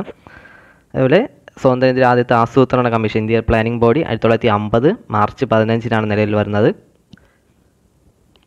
ഇന്ത്യൻ ആസൂത്രണത്തിന് ശില്പി എന്നറിയപ്പെടുന്ന പി സി മഹലനോബീസാണ് പി സി മഹലനോബീസിന്റെ ഒരു പ്രശസ്തമായ ഒരു പുസ്തകമുണ്ട്. സംഖ്യ എന്ന പുസ്തകം നമ്മുടെ പി സി മഹലനോബീസിന്റെ ആണ് അതേപോലെ ഇന്ത്യൻ ആസൂത്രണ കമ്മീഷൻ ആദ്യ ഉപാധ്യക്ഷൻ ഗുൽസാരിലാൽ നന്ദയും അധ്യക്ഷൻ ആരാണ്? അറിയാലോ നെഹ്റു ആയിരുന്നു. ഓക്കെ ആദ്യ അധ്യക്ഷൻ നെഹ്റു ആയിരുന്നു ഉപാധ്യക്ഷൻ ഗുൽസാരിലാൽ നന്ദ. ഒന്നാം പഞ്ചവത്സര പദ്ധതിയുടെ കരട് തയ്യാറാക്കിയ കെ എൻ രാജാണ്. കെ എൻ രാജ് എന്ന മലയാളിയാണ് കരട് തയ്യാറാക്കിയത്. ഓക്കെ ഒന്നാം പഞ്ചവത്സര പദ്ധതി അറിയപ്പെടുത്തുന്ന മറ്റൊരു പേരാണ് ഹറോൾഡ് ഡോമർ മാതൃക. Okay H D. Harold Domar മാതൃക എന്നറിയപ്പെടുന്ന ഒന്നാം പഞ്ചവത്സര പദ്ധതിയാണ്. പി സി മഹലനോബീസ് മാതൃക എന്നറിയപ്പെടുന്നത് സെക്കൻഡ് പഞ്ചവത്സര പദ്ധതിയാണ്. അടുത്ത ചോദ്യം. താഴെ പറയുന്നവിൽ ഇന്ത്യയുടെ ഹരിത വിപ്ലവത്തിന്റെ രണ്ടാം ഘട്ടത്തിന്റെ കാലയളവ് എപ്പോഴെന്നാണ്?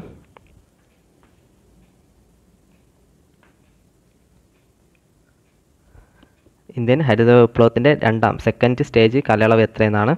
അറുപത് എഴുപതാണ് എഴുപത് എൺപതാണ് അമ്പത് അറുപതാണ് ഇവയൊന്നുമല്ല. ഏതാണ്? ഓപ്ഷൻ ബി ആണ്. ആയിരത്തി തൊള്ളായിരത്തി എഴുപത് ടു എഴുപത് മദ്യം ടു ആയിരത്തി തൊള്ളായിരത്തി എൺപത് വരെയാണ്. അടുത്ത ചോദ്യം ഭാരതീയ റിസർവ് ബാങ്കിന്റെ നൂതന സംരംഭമായ ഡിജിറ്റൽ പേയ്മെന്റ് സൂചികയുമായി ബന്ധപ്പെട്ട ശരിയായ പ്രസ്ഥാനം ഏതൊക്കെയെന്നാണ്? ശരിയായ പ്രസ്ഥാനം ഭാരതീയ റിസർവ് ബാങ്ക് ആർ ബി ഐയുടെ നൂതന സംരംഭമായ ഡിജിറ്റൽ പേയ്മെന്റ് സൂചികയുമായി ബന്ധപ്പെട്ട ശരിയായ പ്രസ്താവന ഏതൊക്കെയെന്നാണ്? പ്രസ്താവനകൾ വായിച്ചു നോക്കുക. ശരിയായ ഓപ്ഷൻ തിരഞ്ഞെടുക്കുക. ഒന്ന് രണ്ടാണോ? രണ്ട് മൂന്നാണോ? ഒന്ന് മൂന്നാണോ? അതോ എല്ലാ പ്രസ്താവനയും ശരിയാണോ?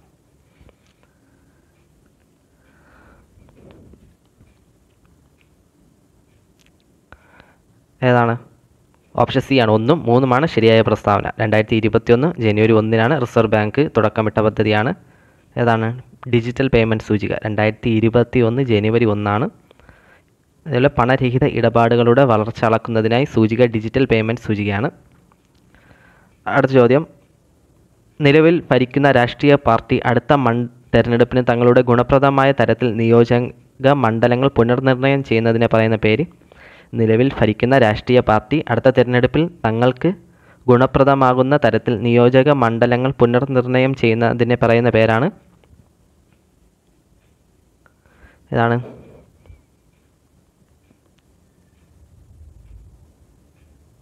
ഓപ്ഷൻ ബി ജെറി ബാൻഡറിംഗ് ആണ്. ഓക്കെ ജെറി ബാൻഡറിംഗ് ആണ്. നിയോജക മണ്ഡലങ്ങൾ പുനർനിർണയം ചെയ്യുന്ന ആ പ്രോസസ്സിനെ പറയുന്ന പേരാണ് ജെറി മാൻഡറിംഗ് അടുത്ത ചോദ്യം ഇന്ത്യൻ ഭരണഘടനയിൽ പട്ടികജാതി പട്ടിക വർഗങ്ങളെക്കുറിച്ച് പ്രതിപാദിക്കുന്ന ആർട്ടിക്കിൾ. പട്ടികജാതി പട്ടിക വർഗം. ആർട്ടിക്കിൾ എത്രയാണ്? മുന്നൂറ്റി ഇരുപത് ഇരുപത്തൊമ്പതാണോ? നാൽപ്പത്തി മൂന്ന് അമ്പതാണോ? മുന്നൂറ്റി അറുപത് അറുപത്തെട്ടാണോ? മുന്നൂറ്റി മുപ്പത് നാൽപ്പത്തിരണ്ടാണോ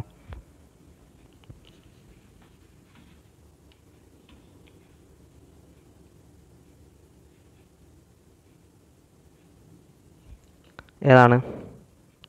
ഓപ്ഷൻ ഡി ആണ് മുന്നൂറ്റി മുപ്പത് ടു മുന്നൂറ്റി നാൽപ്പത്തി രണ്ടാണ് ഉത്തരം. പട്ടികജാതി പട്ടിക വർഗങ്ങളെ കുറിച്ച് പ്രതിപാദിക്കുന്ന ആർട്ടിക്കിളാണ് മുന്നൂറ്റി മുപ്പത് ടു മുന്നൂറ്റി നാൽപ്പത്തി രണ്ട് ആർട്ടിക്കിൾ മുന്നൂറ്റി മുപ്പത്തി എട്ടിന്റെ പ്രത്യേകത എന്താണ് ആർട്ടിക്കിൾ മുന്നൂറ്റി മുപ്പത്തെട്ട് ദേശീയ പട്ടികജാതി കമ്മീഷനിലെ national commission for scheduled caste S C കമ്മീഷനെ കുറിച്ച് പ്രതിപാദിക്കുന്നതാണ് ആർട്ടിക്കിൾ മുന്നൂറ്റി മുപ്പത്തി എട്ട് അതേപോലെ മുന്നൂറ്റി മുപ്പത്തി എട്ട് എ എന്തോന്നാണ് പട്ടികവർഗ കമ്മീഷനെ കുറിച്ച്.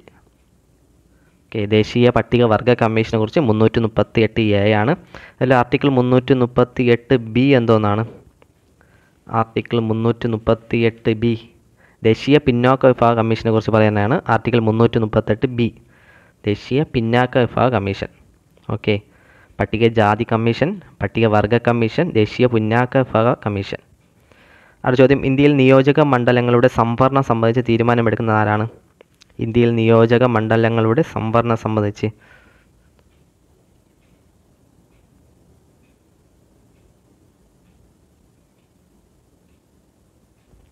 ആരാണ് അതിർത്തി നിർണയ കമ്മീഷൻ തിരഞ്ഞെടുക്കുന്ന കമ്മീഷൻ ഇന്ത്യൻ പാർലമെന്റ് സംസ്ഥാന നിയമസഭകൾ. ഇന്ത്യയിലെ നിയോജക മണ്ഡലങ്ങളുടെ സംവരണം സംബന്ധിച്ച് തീരുമാനം എടുക്കുന്നത്? ആരാണ്? ഓപ്ഷൻ എ ആണ് അതിർത്തി അതിർത്തി നിർണയ കമ്മീഷനാണ്. ഓക്കെ അടുത്ത ചോദ്യം തദ്ദേശീയ ഗവൺമെന്റ് സമിതികൾക്ക് ഭരണഘടനാപരമായ അംഗീകാരം നൽകണമെന്ന ശുപാർശ ചെയ്ത കമ്മിറ്റിയാണ്. തദ്ദേശ ഗവൺമെന്റ് സമിതികൾക്ക് ഭരണഘടനാപരമായ അംഗീകാരം നൽകണമെന്ന് ശുപാർശ ചെയ്ത കമ്മീഷനാണ്. ഏതാണ്? നമ്മൾ നേരത്തെ ഒരു ചെയ്ത ഒരു മോഡൽ എക്സാമിന് ഈ സെയിം ക്വസ്റ്റ്യൻ ഉണ്ടായിരുന്നു. ഏതാണ്? ഭരണഘടനാപരമായ അംഗീകാരം നൽകണമെന്ന് പി കെ തുങ്കൻ കമ്മീഷനാണ്. ഓക്കെ പി കെ തുങ്കൻ കമ്മീഷനാണ്. നമ്മുടെ ബൽവന്ത് റായ് മേത്ത കമ്മീഷൻ എന്തുമായി ബന്ധപ്പെട്ടാണ്? പഞ്ചായത്ത് രാജിനെ ത്രിതല സംവിധാനമായി വേർതിരിച്ചത് ബൽവന്ത് റായ് മേത്തയാണ്. അതോർക്കാൻ ചെറിയൊരു ടിപ്പുണ്ട്. ബൽവന്ത് ഒന്ന് റായ് സെക്കൻഡ് വേർഡ് അല്ലേ? മേത്ത മൂന്നല്ലേ? അപ്പം ത്രിതല പഞ്ചായത്തിനെ ത്രിതല വിഭാഗങ്ങളായി വേർതിരിച്ചത് ഏത്? ബൽവന്ത് റായ് മേത്തയാണ്. അതേപോലെ ഒരു ക്വസ്റ്റ്യൻ ഉണ്ട്. അശോക് മേത്ത കമ്മിറ്റി. അതുകൊണ്ടാണ് പഞ്ചായത്ത് രാജിനെ ദ്വിതല സെക്കൻഡ് രണ്ട് സ്റ്റേജായിട്ട് സ്പ്ലിറ്റ് ചെയ്തതാണ് അശോക് മേത്ത. അതിലുമുണ്ട് അശോക് ഒറ്റ വാക്ക് അതേപോലെ മെഹത്ത രണ്ടാമത്തെ വാക്ക്. അപ്പം ദിതല പഞ്ചായത്ത് രാജിനെ ദ്വിതല സംവിധാനങ്ങളായിട്ട് വേർതിരിച്ചാണ് അശോക് മേത്ത കമ്മിറ്റി അതേപോലെ ബൽവന്ത് റായ് മേത്ത കമ്മിറ്റി ത്രിതല കമ്മിറ്റിയാക്കി. ഓക്കെ ത്രിതലയായിട്ട് വേർതിരിച്ചത്. അടുത്ത ചോദ്യം ഭരണഘടനയുടെ മനസാക്ഷി എന്ന് നിർദ്ദേശ തത്വങ്ങളെ മൗലികാവകാശങ്ങളെ വിശേഷിപ്പിച്ചത് ഏതാണ്? ഭരണഘടനയുടെ മനസാക്ഷി എന്ന് നിർദ്ദേശ തത്വങ്ങളെയും മന വിശേഷിപ്പിച്ചത്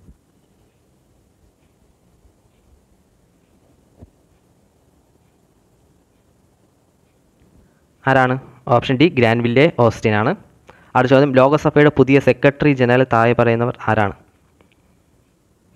ആരാണ് ഉത്തരം? ലോകസഭയുടെ പുതിയ സെക്രട്ടറി ജനറൽ സ്നേഹലത ശ്രീവാസ്തവ ഉത്പൽ കുമാർ സിംഗ് സുദർശൻ അഗർവാൾ ഓം ബിർല ആരാണ്? ഓപ്ഷൻ ബി ആണ് ഉത്പൽ കുമാർ സിംഗ് ആണ്. ഓക്കെ. ലോകസഭയുടെ പുതിയ സെക്രട്ടറി ജനറൽ ഉത്പൽ കുമാർ സിംഗ് ആണ്. അടുത്ത ചോദ്യം. ഇന്ത്യൻ ഭരണഘടനാ നിർമ്മാണ സഭയെ ആദ്യമായി അഭിസംബോധന ചെയ്തത് വ്യക്തി ആരെന്നാണ് ഇന്ത്യൻ ഭരണഘടനാ നിർമ്മാണ സഭയെ ആദ്യമായി അഭിസംബോധന ചെയ്ത വ്യക്തി.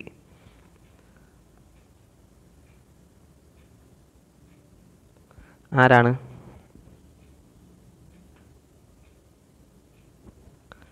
ആരാണ് ആദ്യമായി അഭിസംബോധന ചെയ്തത്? ചെറിയൊരു കോഡ് പറഞ്ഞുതരാം. ചെറിയൊരു ക്ലൂ പറഞ്ഞുതരാം. ആ സമയത്ത് ഐ എൻ സി പ്രസിഡന്റ് ആയിരുന്നു. ആരായിരുന്നു? Option A J B Kripalani ആയിരുന്നു. ഓക്കെ ഇന്ത്യയ്ക്ക് സ്വാതന്ത്ര്യം കിട്ടിയപ്പോൾ I N C Indian national കോൺഗ്രസിന്റെ പ്രസിഡന്റായിരുന്ന ജെ ബി കൃപലാനി ആയിരുന്നു. ഇന്ത്യൻ ഭരണഘടനാ നിർമ്മാണ സഭയെ ആദ്യമായി അഭിസംബോധന ചെയ്തത്. ആദ്യത്തെ പ്രസിഡന്റ് ആരായിരുന്നു? ഇന്ത്യൻ ഭരണഘടനാ നിർമ്മാണ സഭയുടെ ആദ്യത്തെ ആരായിരുന്നു? ഡോക്ടർ സച്ചിദാനന്ദ സിൻഹ ആയിരുന്നു ആദ്യമായി തിരഞ്ഞെടുക്കപ്പെട്ട പ്രസിഡന്റ് ഡോക്ടർ രാജേന്ദ്ര പ്രസാദ് ആയിരുന്നു ഓക്കെ അതിന്റെ ഐഡിയ എങ്ങനെയാണ് ഫസ്റ്റ് നിർമ്മാണ സഭ കൂടിയപ്പം അഭിസംബോധന ജെ ബി കൃപലാനി ചെയ്യുന്നു. അന്നത്തെ ഐ എൻ സി പ്രസിഡന്റ് ആയിരുന്നു. അങ്ങനെ ഫസ്റ്റ് അഭിസംബോധന ചെയ്യുന്നു. പിന്നെ നിർമ്മാണ സഭ കൂടിയല്ലേ ഉള്ളൂ. ഫസ്റ്റ് അല്ലേ? ഫസ്റ്റ് സമ്മേളനം അല്ലേ സോ അവിടെ അന്ന് അധ്യക്ഷ സ്ഥാനം ഒന്നും വഹിക്കാൻ ആൾക്കാരും ഇല്ലായിരുന്നു. സോ കൂട്ടത്തിലുള്ളതിന് ഏറ്റവും മൂത്ത ആളെ ഓക്കെ ഏറ്റവും മുതിർന്ന നേതാവിനെ അയാൾ അവിടുത്തെ അധ്യക്ഷനാക്കി ഡോക്ടർ സച്ചിദാനന്ദ സിംഗിനെ. അപ്പോൾ ഭരണഘടനാ നിർമ്മാണ സഭയുടെ ആദ്യത്തെ അധ്യക്ഷനാക്കി. എന്നിട്ട് അവിടെ നിന്ന് എലക്ഷൻ ചെയ്ത് അടുത്ത ഡോക്ടർ രാജേന്ദ്ര പ്രസാദിനെ അവർ തിരഞ്ഞെടുക്കുന്നു. ഓക്കെ അതാണ് അതിന്റെ ഒരു ഐഡിയ എന്ന് പറയുന്നത്. ഓക്കെ ആദ്യം തിരഞ്ഞെടുക്കപ്പെട്ടത് ഡോക്ടർ രാജേന്ദ്ര പ്രസാദും ആദ്യ അധ്യക്ഷ സ്ഥാനമായത് സച്ചിദാനന്ദ സിൻഹയായിരുന്നു അടുത്ത ചോദ്യം ഒരു വ്യക്തി അയാൾക്ക് അർഹതയില്ലാത്ത ഉദ്യോഗം വഹിക്കുന്ന തടയുന്ന റിട്ടാണ്. അർഹതയില്ലാത്ത ഉദ്യോഗം വഹിക്കുന്നത് തടയുന്നതിനുള്ള റിട്ടാണ്.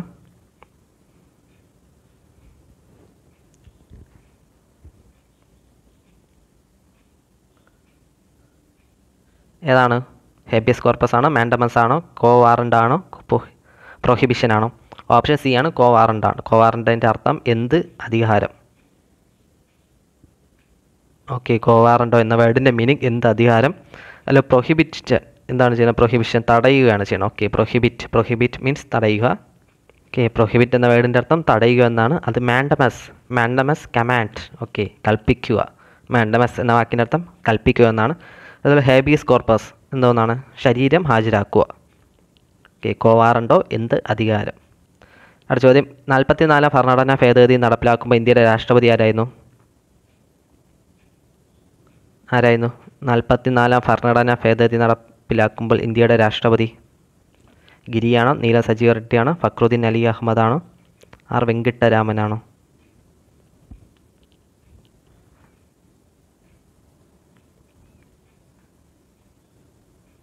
ആരായിരുന്നു? ഓപ്ഷൻ ബി നീലം സഞ്ജീവ റെഡ്ഡി ആയിരുന്നു. ആ സമയത്തുള്ള പ്രൈം മിനിസ്റ്റർ ആരായിരുന്നു? നാൽപ്പത്തിനാലാം ഭേദഗതി നടന്നപ്പോഴുള്ള ഫ- പ്രൈം മിനിസ്റ്റർ ആരായിരുന്നു? മൊറാർ മൊറാർജി ദേശായി ആയിരുന്നു. വർഷം ആയിരത്തി തൊള്ളായിരത്തി എഴുപത്തി എട്ടാണ്. എഴുപത്തി എട്ടിൽ മൊറാർജി ദേശായി പ്രൈം മിനിസ്റ്റർ ആയിരുന്നു. നീലം സഞ്ജീവ റെഡ്ഡി പ്രസിഡന്റ് ആയിരുന്നു. അടുത്ത ചോദ്യം കേരളത്തിൽ നെൽവയൽ സംരക്ഷണ നിയമം നിലവിൽ വന്നത്? നമ്മൾ നേരത്തെ ഒരു എക്സാമിന് പറഞ്ഞിട്ടുള്ളതാണ് ഡേറ്റ് കേരളത്തിൽ നെൽവയൽ നെൽവയൽ സംരക്ഷണ നിയമം നിലവിൽ ഡേറ്റ് സഹിതം അന്ന് പഠിപ്പിച്ചു വിട്ടാണ്. രണ്ടായിരത്തി എട്ട് ഓഗസ്റ്റ് പതിനൊന്നാണ് ഉത്തരം. അല്ല കേരളത്തിൽ ക്യാൻസർ ചികിത്സ സൗജന്യമാക്കിയ പദ്ധതി ഏതെന്നാണ്? കേരളത്തിൽ ക്യാൻസർ ചികിത്സ സൗജന്യമാക്കിയ പദ്ധതി കാരുണ്യമാണോ ആർദ്രമാണ് സുഹൃതമാണ് സ്നേഹകൂടാണോ.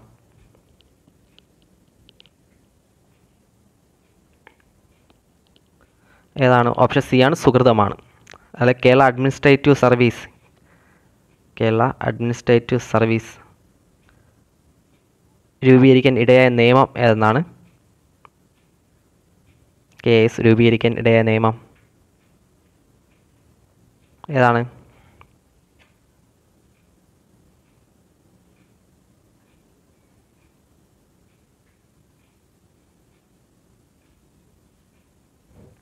ഓപ്ഷൻ ഡി ആണ് കേരള പബ്ലിക് സർവീസ് ആക്ട് ആണ് ആയിരത്തി തൊള്ളായിരത്തി അറുപത്തി എട്ടാണ് വർഷം ശ്രദ്ധിക്കണം.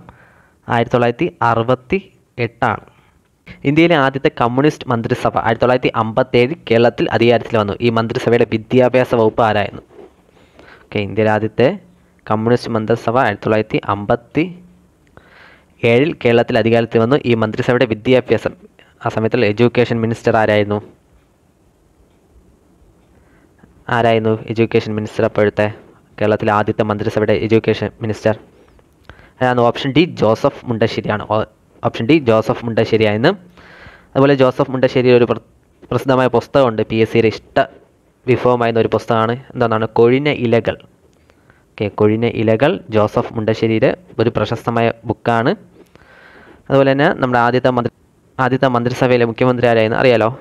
ഇ എം എസ് മന്ത്രിസഭയിലെ ഒരേ ഒരു വനിതാ മന്ത്രിയായിരുന്നു K R Gowriamma. K R Gowriamma ഏത് ഇതാണ്? ഏത് ഡിപ്പാർട്ട്മെന്റ് ആയിരുന്നു K R Gowriamma.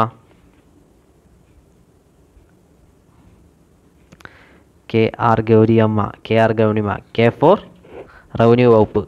Sorry R for revenue വകുപ്പ്. അപ്പം റവന്യൂ വകുപ്പ് കെ ആർ ഗൗരിയമ്മയെന്ന് കെ ഫോർ കഞ്ചാവ് എന്ന് ഓർത്താതി. അപ്പോൾ കഞ്ചാവ് ആകുമ്പോൾ ഏതായിരിക്കും എക്സൈസ് ഡിപ്പാർട്ട്മെന്റ് ഓക്കെ എക്സൈസ് ഡിപ്പാർട്ട്മെന്റും റവന്യൂ വകുപ്പ് മന്ത്രിയായിരുന്നു കെ ആർ ഗൗരിയമ്മ. ആദ്യത്തെ കമ്മ്യൂണിസ്റ്റ് മന്ത്രിസഭയിൽ സി എച്ച് തമേന ഒരു ഡിപ്പാർട്ട്മെന്റ് ഉണ്ടായിരുന്നു. ഏതാണ്? സി എച്ച് തമേനോന്റെ ഡിപ്പാർട്ട്മെന്റ് ഏതായിരുന്നു? വകുപ്പ് ഏതായിരുന്നു സി എച്ച് തമേനോന്റെ? ആ സീലി തന്നെ ഉണ്ട് കോസ്റ്റ്.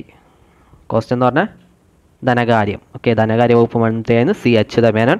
ജോസഫ് മുണ്ടശ്ശേരി എന്തോന്നാണ്? വിദ്യാഭ്യാസ വകുപ്പ് മന്ത്രിയായിരുന്നു. അപ്പോൾ ഈ പോയിന്റ്സൊക്കെ ഒന്ന് നോക്കുക.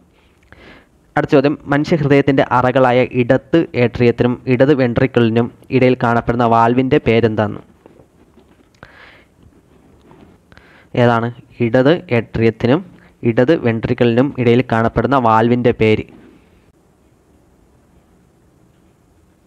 ഏതാണ് ഉത്തരം? മുപ്പത്തി രണ്ട് ഓപ്ഷൻ എ ആണോ ബി ആണോ സി ആണോ ഡി ആണോ?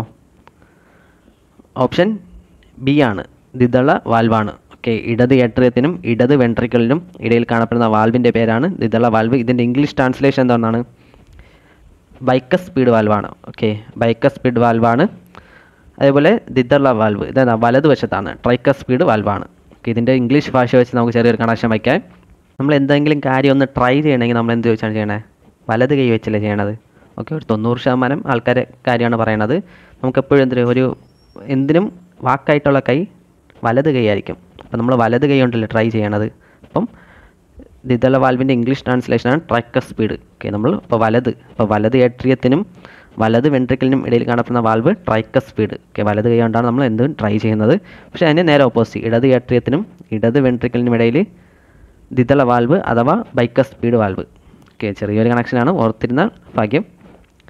അടുത്ത ചോദ്യം താഴെ തന്നിരിക്കുന്നതിൽ സ്ത്രീ ഹോർമോണുകൾ അല്ലാത്തത്. സ്ത്രീ ഹോർമോണുകൾ അല്ലാത്തത് ഏവയെന്നാണ് ഏതാണ് ആൻഡ്രജൻ ഈസ്ട്രജൻ പൊജിസ്ട്രൻ അതൊക്കെയാണ് മുപ്പത്തി മൂന്ന് ഓപ്ഷൻ എ ആണ്. ആൻഡ്രജൻ ആണ് ആൻഡ്രജൻ പുരുഷ ലൈംഗിക ഹോർമോണാണ് മറ്റു രണ്ട് സ്ത്രീകളുടെയാണ്.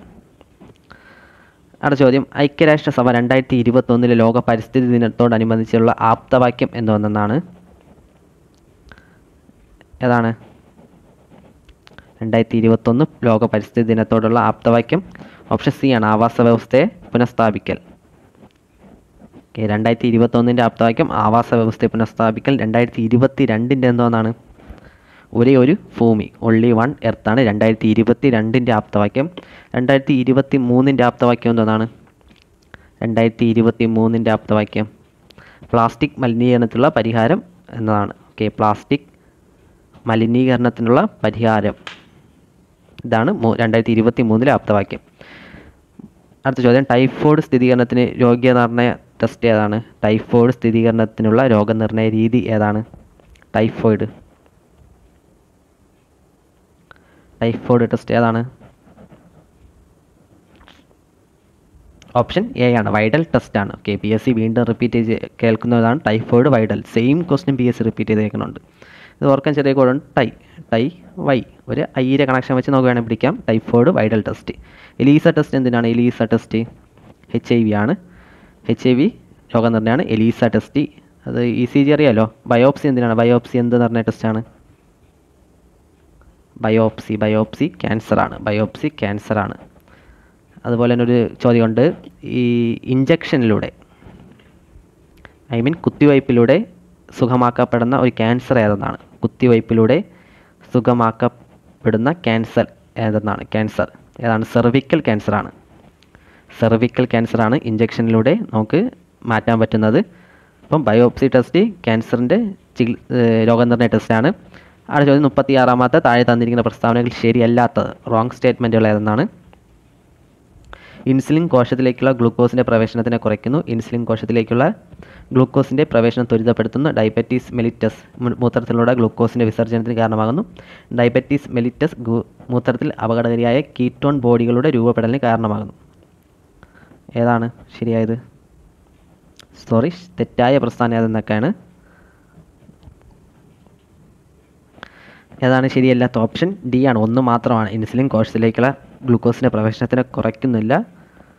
ഓക്കെ ബാക്കി മൂന്ന് സ്റ്റേറ്റ്മെന്റിൽ ശരിയാണ്. ഇൻസുലിൻ കോശത്തിലേക്ക് ഗ്ലൂക്കോസിന്റെ പ്രവേശനം ത്വരിതപ്പെടുത്തുന്നു. ഡയബറ്റിസ് മെലിറ്റസ് നമ്മുടെ ഡിഗ്രി മെയിൻ എക്സാമിന് ചോദിച്ച ചോദ്യമാണ് ഇപ്പോൾ. സോ നന്നായിട്ടും ശ്രദ്ധിക്കുക. ഡയബറ്റീസ് മെലിറ്റസ് മൂത്രത്തിലേക്കുള്ള ഗ്ലൂക്കോസിന്റെ വിസർജ്യത്തിന് കാരണമാകുന്നു. ഡയബറ്റീസ് മെലിറ്റസ് വരാനുള്ള ഹോർമോൺ ഏതാണ്? ഡിഗ്രി മെയിൻ എക്സാമിന് കേട്ടയാണ്. എ ഡി ആണ്. എ ഡി എച്ച് എന്ന ഹോർമോണാണ് ഡയബറ്റീസ് മെലിറ്റസ് വരാൻ കാരണം. അതുപോലെ ഡയബറ്റീസ് മെലിറ്റസ് മൂത്രത്തിലെ അപകടകാരിയായ കീറ്റോൺ ബോഡികളുടെ രൂപപ്പെടലിന് കാരണമാകുന്നു. അടുത്ത ചോദ്യം. രണ്ടായിരത്തി ഇരുപത്തൊന്ന് ദക്ഷിണാഫ്രിക്കയിൽ സ്ഥിരീകരിച്ച കൊറോണ വൈറസായ ഒമിക്രോൺ വകഭേദം ഇവയിൽ ഏതിനെ സൂചിപ്പിക്കുന്നു? ഒമിക്രോൺ വകഭേദം ഇവയിൽ ഏതിനെ സൂചിപ്പിക്കുന്നു? ഓപ്ഷൻ ബി ആണ്. Okay B one point one five two nine ആണ്. One one five two nine ആണ് ബി. മുപ്പത്തെട്ടാമത്തെ ചോദ്യം. താഴെ തന്നിരിക്കുന്നതിൽ നിന്നും പ്രകൃതിയിലെ അടിസ്ഥാന ബലം തിരഞ്ഞെടുക്കുക. ഏതാണ് പ്രകൃതിയിലെ അടിസ്ഥാന ബലം? നമുക്ക് ചോദ്യം വായിക്കുമ്പോൾ കൺഫ്യൂഷൻ കാണും. പക്ഷേ ഓപ്ഷൻസ് വായിക്കുമ്പോൾ കൺഫ്യൂഷൻ എല്ലാം മാറി കറക്റ്റ് ആൻസർ അടിക്കാൻ പറ്റും. അടിസ്ഥാന ബലം ഗുരുത്വാകർഷണ ബലമാണ്. അടുത്ത ചോദ്യം ഹൈഡ്രോളിക് ബ്രേക്കിന്റെ ഉപയോഗിക്കുന്ന അടിസ്ഥാന നിയമം. ഹൈഡ്രോളിക് ബ്രേക്കിൽ ഉപയോഗിക്കുന്ന അടിസ്ഥാന നിയമം ഏതാണ്? ഹൈഡ്രോളിക് ഹൈഡ്രോളിക് ബ്രേക്കിൽ ഓപ്ഷൻ ബി പാസ്കൽ നിയമമാണ്. ഒരു കോൺവെക്സ് ലെൻസിന്റെ ഫോക്കസ് ദൂരം ഇരുപത് സെന്റിമീറ്റർ ആണെങ്കിൽ ഈ ലെൻസിന്റെ പവർ എത്രയെന്നാണ്. ഒരു കോൺവെക്സ് ലെൻസിന്റെ ഫോക്കസ് ദൂരം ഇരുപത് സെന്റിമീറ്റർ ആണെങ്കിൽ ഇതിലെ പവർ എത്ര എന്നാണ് ലെൻസിന്റെ പവർ. എത്രയാണ് ഉത്തരം? ഒരു കോൺവെക്സ് ലെൻസിന്റെ ഫോക്കസ് ദൂരം ഇരുപതാണെങ്കിൽ ലെൻസിന്റെ പവർ. എത്ര ഓപ്ഷൻ ഡി പ്ലസ് ഫൈവ് ആണ്. ഓക്കെ പ്ലസ് ഫൈവ് ഡി ആണ്. D for dioptre. ലെൻസിന്റെ പവറിന്റെ യൂണിറ്റ് ആണ് ഡയോപ്റ്റർ. അതുപോലെ തന്നെ ഇതിന്റെ ഫോർമുല എങ്ങനെയാണ്? പവർ പവർ കാണാനുള്ള ഫോർമുല പി സിക്കൽ ടു എത്രയാണ്? വൺ ബൈ എഫ് ആണ്. Okay one by F F എന്ന് പറഞ്ഞാൽ ഫോക്കസ് ദൂരം ഫോക്കസ് ദൂരം. ഇവിടെ ഇരുപത് സെന്റിമീറ്ററിലാണ് തന്നിരിക്കുന്നത്. ഇതിനെ നമ്മൾ മീറ്റർ ആക്കണം. ഓക്കെ അപ്പം ഇരുപത് ഡിവൈഡ് ബൈ ഹൺഡ്രഡ് അപ്പം പോയിന്റ് ടു മീറ്റർ ആവും. അപ്പം ബാക്കി ഫോർമുല ആയിട്ട് ചെയ്താൽ മതി. പി സികൾ ടു എത്രയാണ്? വൺ ബൈ പോയിന്റ് ടു എത്ര കിട്ടും ഉത്തര? ഫൈവ് കിട്ടും. ഓക്കെ അപ്പോൾ ഫൈവ് കറക്റ്റ് ഒരു ഓപ്ഷനേ ഉള്ളൂ. പിന്നെ ഈ പ്ലസും മൈനസും സൈൻ നമ്മൾ ശ്രദ്ധിച്ചോളണം.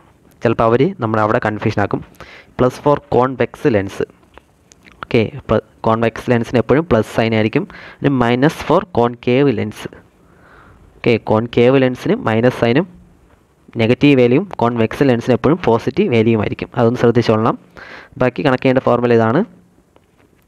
അടുത്ത ചോദ്യം നോക്കാം. ഇതിൽ ഏത് വിക്ഷേപണ വാഹനം ഉപയോഗിച്ചാണ് I S R E O zero one എന്ന ഉപഗ്രഹം വിക്ഷേപിച്ചത്? ഏതാണ്? E O S zero one എന്ന ഉപഗ്രഹം വിക്ഷേ വിക്ഷേപിച്ച വാഹനം. ഏതാണ്? സീറോ വൺ ഏതാണ്? P S L B C നാൽപ്പത്തി ഒമ്പതാണ്. ഒന്ന് ചെറിയൊരു കണക്ഷൻ വയ്ക്കാം നാൽപ്പത്തി ഒമ്പത് പ്ലസ് വൺ ഒരു ഫിഫ്റ്റി ഒരു ഹാഫ് സെഞ്ചുറി അങ്ങനെയൊക്കെ ഒന്ന് ഓർത്ത് വെച്ചാൽ ഒന്നുകൂടി കൂട്ടിയ. ഓക്കെ അപ്പം P S L E O S zero one P S L V C forty nine ആണ്. ഇപ്പോഴത്തെ ഒരു കറണ്ട് അഫയേഴ്സ് ചോദ്യമാണ് അത് P S L V C fifty four P S L V C അൻപത്തി നാല് ഏത് ഉപഗ്രഹം വിക്ഷേപിച്ച വാഹനമാണ്? E O S zero six okay E O S zero six അത് നമുക്കൊരു കണക്ഷൻ വയ്ക്കാം അത് നേരത്തെ പറഞ്ഞ പോലെ അമ്പത്തിനാലിന്റെ ആറ് കൂട്ടിയ. നമുക്ക് തിരിച്ചൊരു സംഖ്യ കിട്ടും അറുപത് എന്ന് കിട്ടും. അങ്ങനെ ഒരു ചെറിയൊരു കണക്ഷനാണ് ഓർത്ത് വയ്ക്കാൻ നോക്കുക. അപ്പോൾ P S L V C fifty four E O S zero സിക്സും P S L V C forty nine E O S zero വണ്ണുമാണ് അടുത്ത ചോദ്യം ആനോഡിൽ നടക്കുന്ന രാസപ്രവർത്തനം ഏതെന്നാണ്? ആനോഡിൽ നടക്കുന്ന രാസപ്രവർത്തനം ഏതാണ്? ആനോഡിൽ നടക്കുന്ന രാസപ്രവർത്തനം റിഡക്ഷൻ അയോണീകരണം ഓക്സിഡേഷൻ സോൾവേഷൻ ഏതാണ്? നാൽപ്പത്തി രണ്ട് ഏതാണ്? ഓപ്ഷൻ സി ആണ് ഓക്സിഡേഷൻ ആണ്. ഓക്കെ ആനോഡിൽ നടക്കുന്ന രാസപ്രവർത്തനം ഓക്സിഡനേഷൻ ആണ്. ഇത് ചിലവർക്ക് കൺഫ്യൂഷൻ ആവാൻ ചാൻസ് ഉണ്ട്. റിഡക്ഷനും ഓക്സിഡേഷനും തമ്മിൽ ചെറിയൊരു മാറിപ്പോകാൻ ചാൻസ് ഉണ്ട്. അപ്പോൾ നമുക്ക് ഇപ്പം പക്ക പഠിച്ചു പോവാം. ഓക്കെ ആനോഡിൽ നടക്കണ നമ്മുടെ ഇപ്പോഴത്തെ ന്യൂസിന്റെ ഹെഡ്ലൈൻ എന്താണ്? നമ്മൾ അരിക്കൊമ്പൻ തന്നെ അരിക്കൊമ്പൻ. അരിക്കൊമ്പനെ ഓട്ടിക്കണം ഓക്സിഡേഷൻ അരിക്കൊമ്പൻ എന്താണ്? ആനയല്ലേ? ആനേനെ ഓട്ടിക്കുന്നത് ഓക്സിഡനേഷനാണ് ഓട്ടിക്കുക ഓക്സിഡേഷൻ ആന ആനോഡ് ഓക്കെ അരിക്കൊമ്പനെ ഓട്ടിക്കുന്നത് സീനോ നോർത്താതി അപ്പോൾ ആനോഡിൽ നടക്കുന്ന രാസപ്രവർത്തനം കെമിക്കൽ പ്രോസസ്സ് ആണ്. അടുത്ത ചോദ്യം ദ്രാവകത്തുള്ളി ഗോളാകൃതിയിലാകാൻ കാരണം? ഏതാണ് ദ്രാവകത്തുള്ളി ഗോളാകൃതിയിലാകാൻ കാരണം?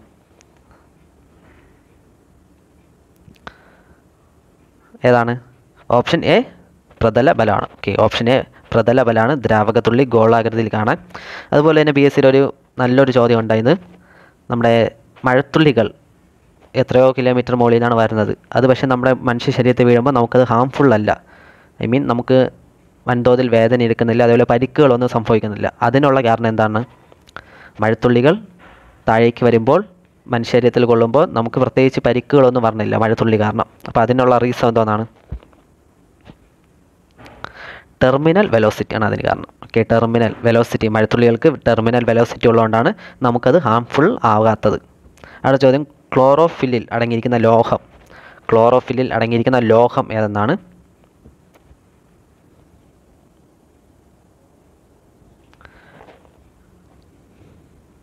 ഏതാണ്? ക്ലോറോഫില്ലിൽ അടങ്ങിയിരിക്കുന്ന ലോഹം. Option D magnesia. പ്രദേശങ്ങളിൽ ജീവിക്കുന്ന ആളുകൾക്ക് ആഹാരം പാകം ചെയ്യാൻ പ്രഷർ കുക്കർ അത്യാവശ്യമാണ്. ഇതിന് കാരണം എന്താണ്? ഇതിന് കാരണം എന്താണെന്നാണ് ഏതാണ്? ഉയർന്ന പ്രദേശങ്ങളിൽ ജീവിക്കുന്ന ആൾക്ക് ആഹാര പാകം ചെയ്യാൻ പ്രഷർ കുക്കർ അത്യാവശ്യമാണ്. ഇതിന് കാരണം എന്താണ്? എവിടെയാണ്? ഉയർന്ന പ്രദേശങ്ങളിൽ സ്വാഭാവികമായിട്ടും മർദ്ദം കുറവായിരിക്കും. അപ്പോൾ ഓപ്ഷൻ ഡി ആണ്. ഓക്കെ നമ്മുടെ പ്രഷർ കുക്കറിന്റെ തിളനില എത്രയാണ്? നൂറ്റി ഇരുപത്തൊന്ന് ഡിഗ്രി സെൽഷ്യസ് ആണ്. ഓക്കെ നൂറ്റി ഇരുപത് നൂറ്റി ഇരുപത് ഓർ നൂറ്റി ഇരുപത്തൊന്ന് പി എസ് സിയിലെ പ്രീവിയസ് ക്വസ്റ്റ്യൻ ആണ് നൂറ്റി ഇരുപത് നൂറ്റി ഇരുപത് എന്നാണ് പി എസ് എന്ന ആൻസർ കീഴിൽ കൊടുത്തിരുന്നത്. നൂറ്റി ഇരുപത്തി ഒന്നെന്നും ചില ഡോക്യുമെന്റ്സിലൊക്കെ പറയാറുണ്ട്. അപ്പം പ്രഷർ കുക്കറിന്റെ തിളനില നൂറ്റി ഇരുപതാണ് അടുത്ത ചോദ്യം രണ്ടായിരത്തി ഇരുപത്തി ഒന്നിലെ ജെ സി ഡാനിയൽ പുരസ്കാരം ലഭിച്ച വ്യക്തി ആരാണ്? ജെ സി ഡാനിയൽ പുരസ്കാരം രണ്ടായിരത്തി ഇരുപത്തി ഒന്നിൽ പി ജയചന്ദ്രനാണ്. ഓക്കെ എം ജയചന്ദ്രനല്ല P ജയചന്ദ്രനാണ്. Okay P Jayachandran P P Jayachandran എന്ന് ഓർത്താൽ മതി. പി ജയചന്ദ്രനാണ്. രണ്ടായിരത്തി ഇരുപത്തി രണ്ടിൽ ആർക്കാണ് കിട്ടിയത്? J C Daniel K P കുമാരനാണ്. Okay K P കുമാരനാണ് രണ്ടായിരത്തി ഇരുപത്തി രണ്ടിൽ രണ്ടായിരത്തി ഇരുപത്തി ഒന്നിൽ പി ജയചന്ദ്രനാണ്. അടുത്ത ചോദ്യം രണ്ടായിരത്തി ഇരുപത്തി ഒന്നിലെ പാരാ ഒളിമ്പിക്സ് ഇന്ത്യയ്ക്കായി സ്വർണ മെഡൽ നേടിയ സുമിത് ആൻഡിൽ മത്സരിച്ച ഇനം ഏതെന്നാണ്? സുമിത് ആൻഡിൽ. ഏതാണ്?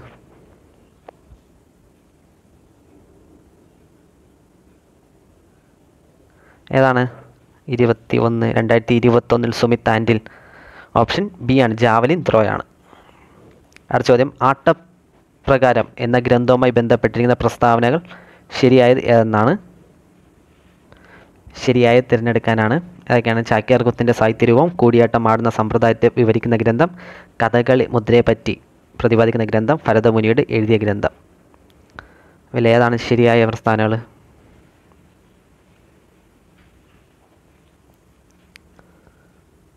ഏതാണ്? ഓപ്ഷൻ സി ആണ്. രണ്ട് പ്രസ്ഥാനങ്ങളാണ് ശരിയായത്. അപ്പം കൂടിയാട്ടം ആടുന്ന സമ്പ്രദായത്തെ പറ്റി വിവരിക്കുന്ന ഗ്രന്ഥമാണ് ആട്ടപ്രകാരം. കേരളത്തിലെ ഏറ്റവും പഴക്കമുള്ള കലാരൂപം ഏതാണ്?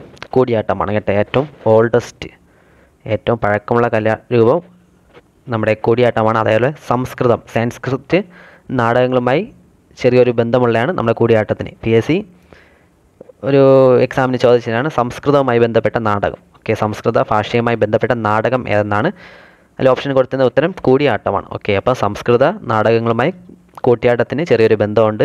അതുപോലെ യുനെസ്കോയുടെ പൈതൃക പട്ടികയിൽ ഉൾപ്പെട്ടത് ആദ്യത്തെ ഭാരതീയ നൃത്തരൂപമാണ് കൂടിയാട്ടം. യുനെസ്കോയുടെ പൈതൃക പട്ടികയിൽ ഉൾപ്പെട്ട ആദ്യത്തെ ഭാരതീയ നൃത്തരൂപമാണ് കൂടിയാട്ടം. വർഷം രണ്ടായിരത്തി ഒന്നാണ് ടു തൗസൻഡ് ഒന്നിലാണ് ഉൾപ്പെടുത്തത്. അപ്പോൾ യുണസ് അപ്പോൾ യുനെസ്കോ പറഞ്ഞ എന്താണ്? മനുഷ്യരാശിയുടെ അനശ്വര കലാരൂപമെന്ന് യുനെസ്കോ വിശേഷിപ്പിച്ച്. ഓക്കെ മനുഷ്യരാശിയുടെ അനശ്വര കലാരൂപമെന്ന് കൂടിയാട്ടത്തെയാണ് യുണെസ്കോ വിശേഷിപ്പിച്ചത്. അടുത്ത ചോദ്യം ജൈന വാസ്തുക്ഷേത്ര മാതൃകയിൽ ഉദാഹരണമായി കല്ലിൽ ഏത് ജില്ലയിലാണ്? ജൈന വാസ്തുക്ഷേത്ര മാതൃകയിൽ ഉദാഹരണമായ കല്ലിൽ ഏത് ജില്ലയിലാണ്? ഏത് ജില്ലയാണ്? ഓപ്ഷൻ സി എറണാകുളമാണ്. ഓപ്ഷൻ സി എറണാകുളമാണ്. അടുത്ത ചോദ്യം കോവിഡ് നയന്റീന്റെ വകഭേദമായി ഒമിക്രോൺ ആദ്യമായി രേഖപ്പെടുത്തിയ രാജ്യം ഏതെന്നാണ്? ഒമിക്രോൺ ആദ്യമായി രേഖപ്പെടുത്തിയ രാജ്യം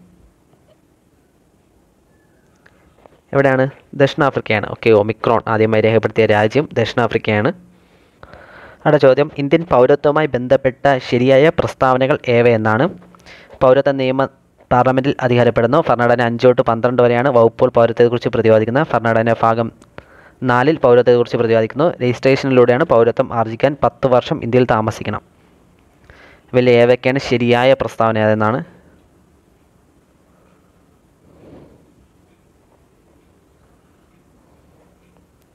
അപ്പോൾ ശരിയായ പ്രസ്ഥാനം ഏതൊക്കെയെന്നാണ്? ഏതാണ്? ഓപ്ഷൻ ഡി ഒന്ന് മാത്രമാണ് ശരിയായത്. പൗരത്വ നിർമ്മാണം പാർലമെന്റ് അധികാരത്തിൽ പെടുന്നു. രണ്ടാമത്തെ സ്റ്റേറ്റ്മെന്റിൽ എന്താണ് തെറ്റ്? ആർട്ടിക്കിൾ അഞ്ചോട്ട് പന്ത്രണ്ട് വരെയാണോ? ഒരിക്കലുമില്ല അഞ്ചോട്ട് പതിനൊന്ന് വരെയുള്ള ആർട്ടിക്കിളാണ് പൗരത്വത്തെക്കുറിച്ച് പ്രതിപാദിക്കുന്നത്. ഓക്കെ അഞ്ച് തൊട്ട് പതിനൊന്ന് വരെയാണ് പൗരത്വത്തെക്കുറിച്ച് ആർട്ടിക്കിൾ ഒന്ന് തൊട്ട് രണ്ട് വരെ സോറി ഒന്ന് തൊട്ട് നാല് വരെ യൂണിയനും അതിന്റെ ഭൂപ്രദേശങ്ങളും തമ്മിലുള്ള ബന്ധത്തെക്കുറിച്ച് പറയുന്നു. ആർട്ടിക്കിൾ ഒന്ന് ടു നാല്. ആർട്ടിക്കിൾ അഞ്ച് ടു പതിനൊന്ന് വരെ പൗരത്വത്തെക്കുറിച്ചാണ് പറയുന്നത് അതുപോലെ തന്നെ ഭരണഘടനാ ഭാഗം നാലല്ല ഭരണഘടനാ ഭാഗം രണ്ടാണ്. ഓക്കെ ഭരണഘടനാ ഭാഗം രണ്ടാണ് പൗരത്വത്തെക്കുറിച്ച് പ്രതിപാദിക്കുന്നത്.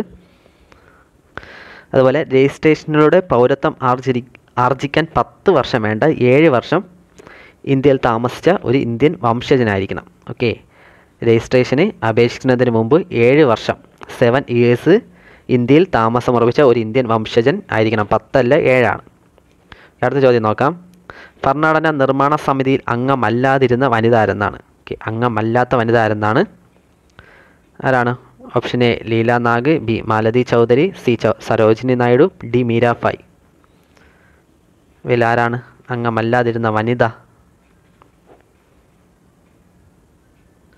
ആരാണ്? ഓപ്ഷൻ ഡി മീര ഫൈ ആണ്. ഇതൊരു നല്ലൊരു ചോദ്യം തന്നെയാണ് റാങ്ക് മേക്കിംഗ് ചോദ്യമാണ്. നമ്മുടെ ഭരണഘടനാ നിർമ്മാണ സമിതിയിൽ എത്ര അംഗങ്ങളുണ്ട് എത്ര വനിതാ അംഗങ്ങളുണ്ടായിരുന്നു പതിനേഴ് വനിതാ അംഗങ്ങളാണ് ആദ്യം ഉണ്ടായിരുന്നത്. പിന്നെ പാകിസ്ഥാൻ വിഭജിച്ചു പോയതിനു ശേഷം അത് പതിനഞ്ച് വനിതാ അംഗങ്ങളായിട്ട് കുറഞ്ഞു. ഓക്കെ അതേപോലെ മലയാളികളുടെ എണ്ണവും പതിനഞ്ചാണ്. പതിനഞ്ച് മലയാളിയും പതിനഞ്ച് വനിതകളും ഉണ്ടായിരുന്നു. അതിൽ മൂന്ന് പേരാണ് ലീല നാഗ് മാലതി ചൗധരി സരോജിനി നായിഡു.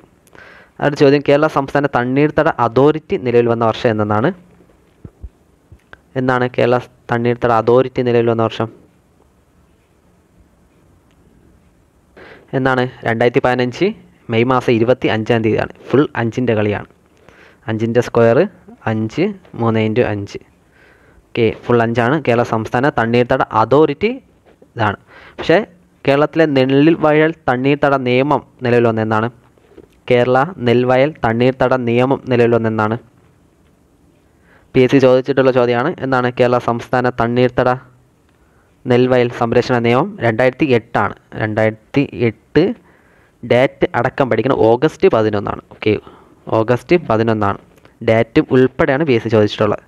ഓക്കെ രണ്ടായിരത്തി എട്ട് വർഷം തന്നിട്ട് ഡേറ്റ് മാസവും മിക്സാക്കി കൊടുത്തിരുന്നു. അപ്പോൾ രണ്ടായിരത്തി എട്ട് ഓഗസ്റ്റ് പതിനൊന്നാം തീയതിയാണ് കേരള സംസ്ഥാന നെൽവയൽ തണ്ണീർത്തട സംരക്ഷണ നിയമം നിലവിൽ വന്നത്. അതുപോലെ തന്നെ അത് ഭേദഗതി ചെയ്തത് പത്ത് വർഷത്തിന് ശേഷം രണ്ടായിരത്തി പതിനെട്ടിനാണ് അതോടെ ഒന്ന് ഓർത്ത് വയ്ക്കുക. അടുത്ത ചോദ്യം. സ്വതന്ത്രം കിട്ടിയതിന്റെ ആവേശമായിരുന്നു. അന്നല്ല ഞങ്ങൾക്ക് അതിരില്ലാത്ത ആനന്ദവും അഭിമാനവുമായിരുന്നു. വോട്ട് ചെയ്ത് ഇറങ്ങിയപ്പോൾ ആരുടെ വാചകമാണ്? ആരുടെയാണ്? പി എസ് സി കുറേ തവണ കേട്ടിട്ടുള്ളതാണ്. ഓപ്ഷൻ ബി ശാംസരൻ നേഗിയാണ്. അടുത്ത ചോദ്യം ചേരുംപടി ചേർക്കാനാണ് നിലവിലെ മന്ത്രിസഭയാണ് ശരി ഉത്തരം പറ. ചേരുംപടി ചേർത്തിട്ട്.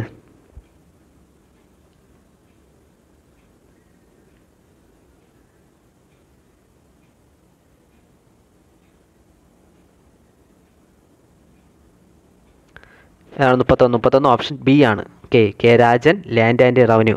നമ്മുടെ രാജാവിനല്ലേ ലാൻഡൊക്കെ ഉള്ള ലാൻഡ് റവന്യൂ ഒക്കെ പിരിക്കുന്ന നമ്മുടെ രാജാവല്ലേ? അപ്പം രാജാവ് K Rajan land and revenue ആണ്. അതേപോലെ ആന്റണി രാജു.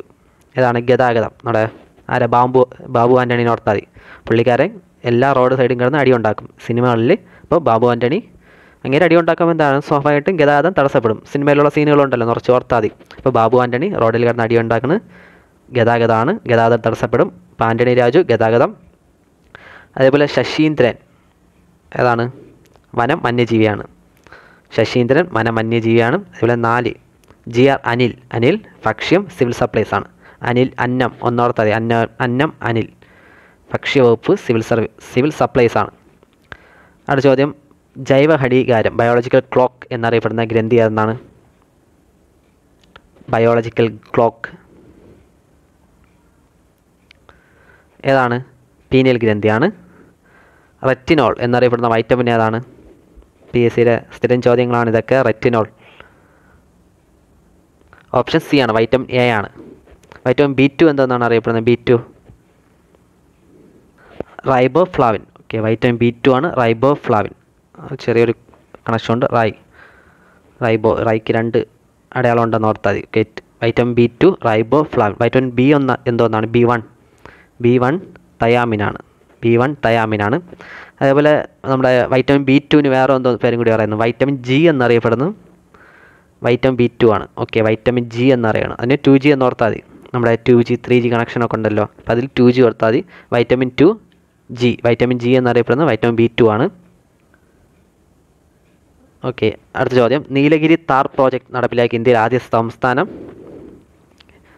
നീലഗിരി താർ പ്രോജക്റ്റ് നടപ്പിലാക്കിയ ഇന്ത്യയിൽ ആദ്യ സംസ്ഥാനം. അറിയായിരിക്കും നീലഗിരി താർ പ്രോജക്റ്റ് എവിടെയാണ്? ബി തമിഴ്നാടാണ്. ബേസിക്കലി ഒന്ന് ഓർത്ത് നോക്കിയാൽ മതി. കേരളത്തിൽ നീലഗിരിയിലെ ഇല്ല. കേരളത്തിൽ അങ്ങനെ വല്ലതും ഉണ്ടായിരുന്നെങ്കിൽ നമ്മൾ നമുക്ക് കേട്ട് കേൾവിയുള്ള ഒരു പേരിടുമായിരുന്നു. സോ തമിഴ്നാടായിരിക്കും. തമിഴ്നാട് കർണാടക. നീലഗിരിയൊക്കെ തമിഴ്നാട് ഭാഗത്താണ് പറഞ്ഞത്. അടുത്ത ചോദ്യം. M D T multi drug therapy നൽകുന്ന ഏത് രോഗത്തിനാണ്? മൾട്ടി ഡ്രഗ് തെറാപ്പി ഏതാണ്? ക്ഷയരോഗത്തിനാണ്. Sorry കുഷ്ഠത്തിനാണ്. Leprosy. M D T multi drug therapy കുഷ്ഠത്തിനാണ്. അടുത്ത ചോദ്യം ലോക ഓസ്റ്റിയോപോറോസിസ് ദിനം. അസ്ഥി ക്ഷയ ദിനം. എന്നാണ്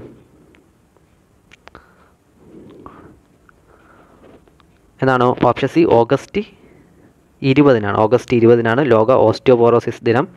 അതുപോലെ വൈറ്റമിൻ ഡീന്റെ കുറവ് കൊണ്ടാണ് ഈ രോഗം പറഞ്ഞത് ഓക്കെ വൈറ്റമിൻ ഡിയുടെ കുറവുണ്ട്.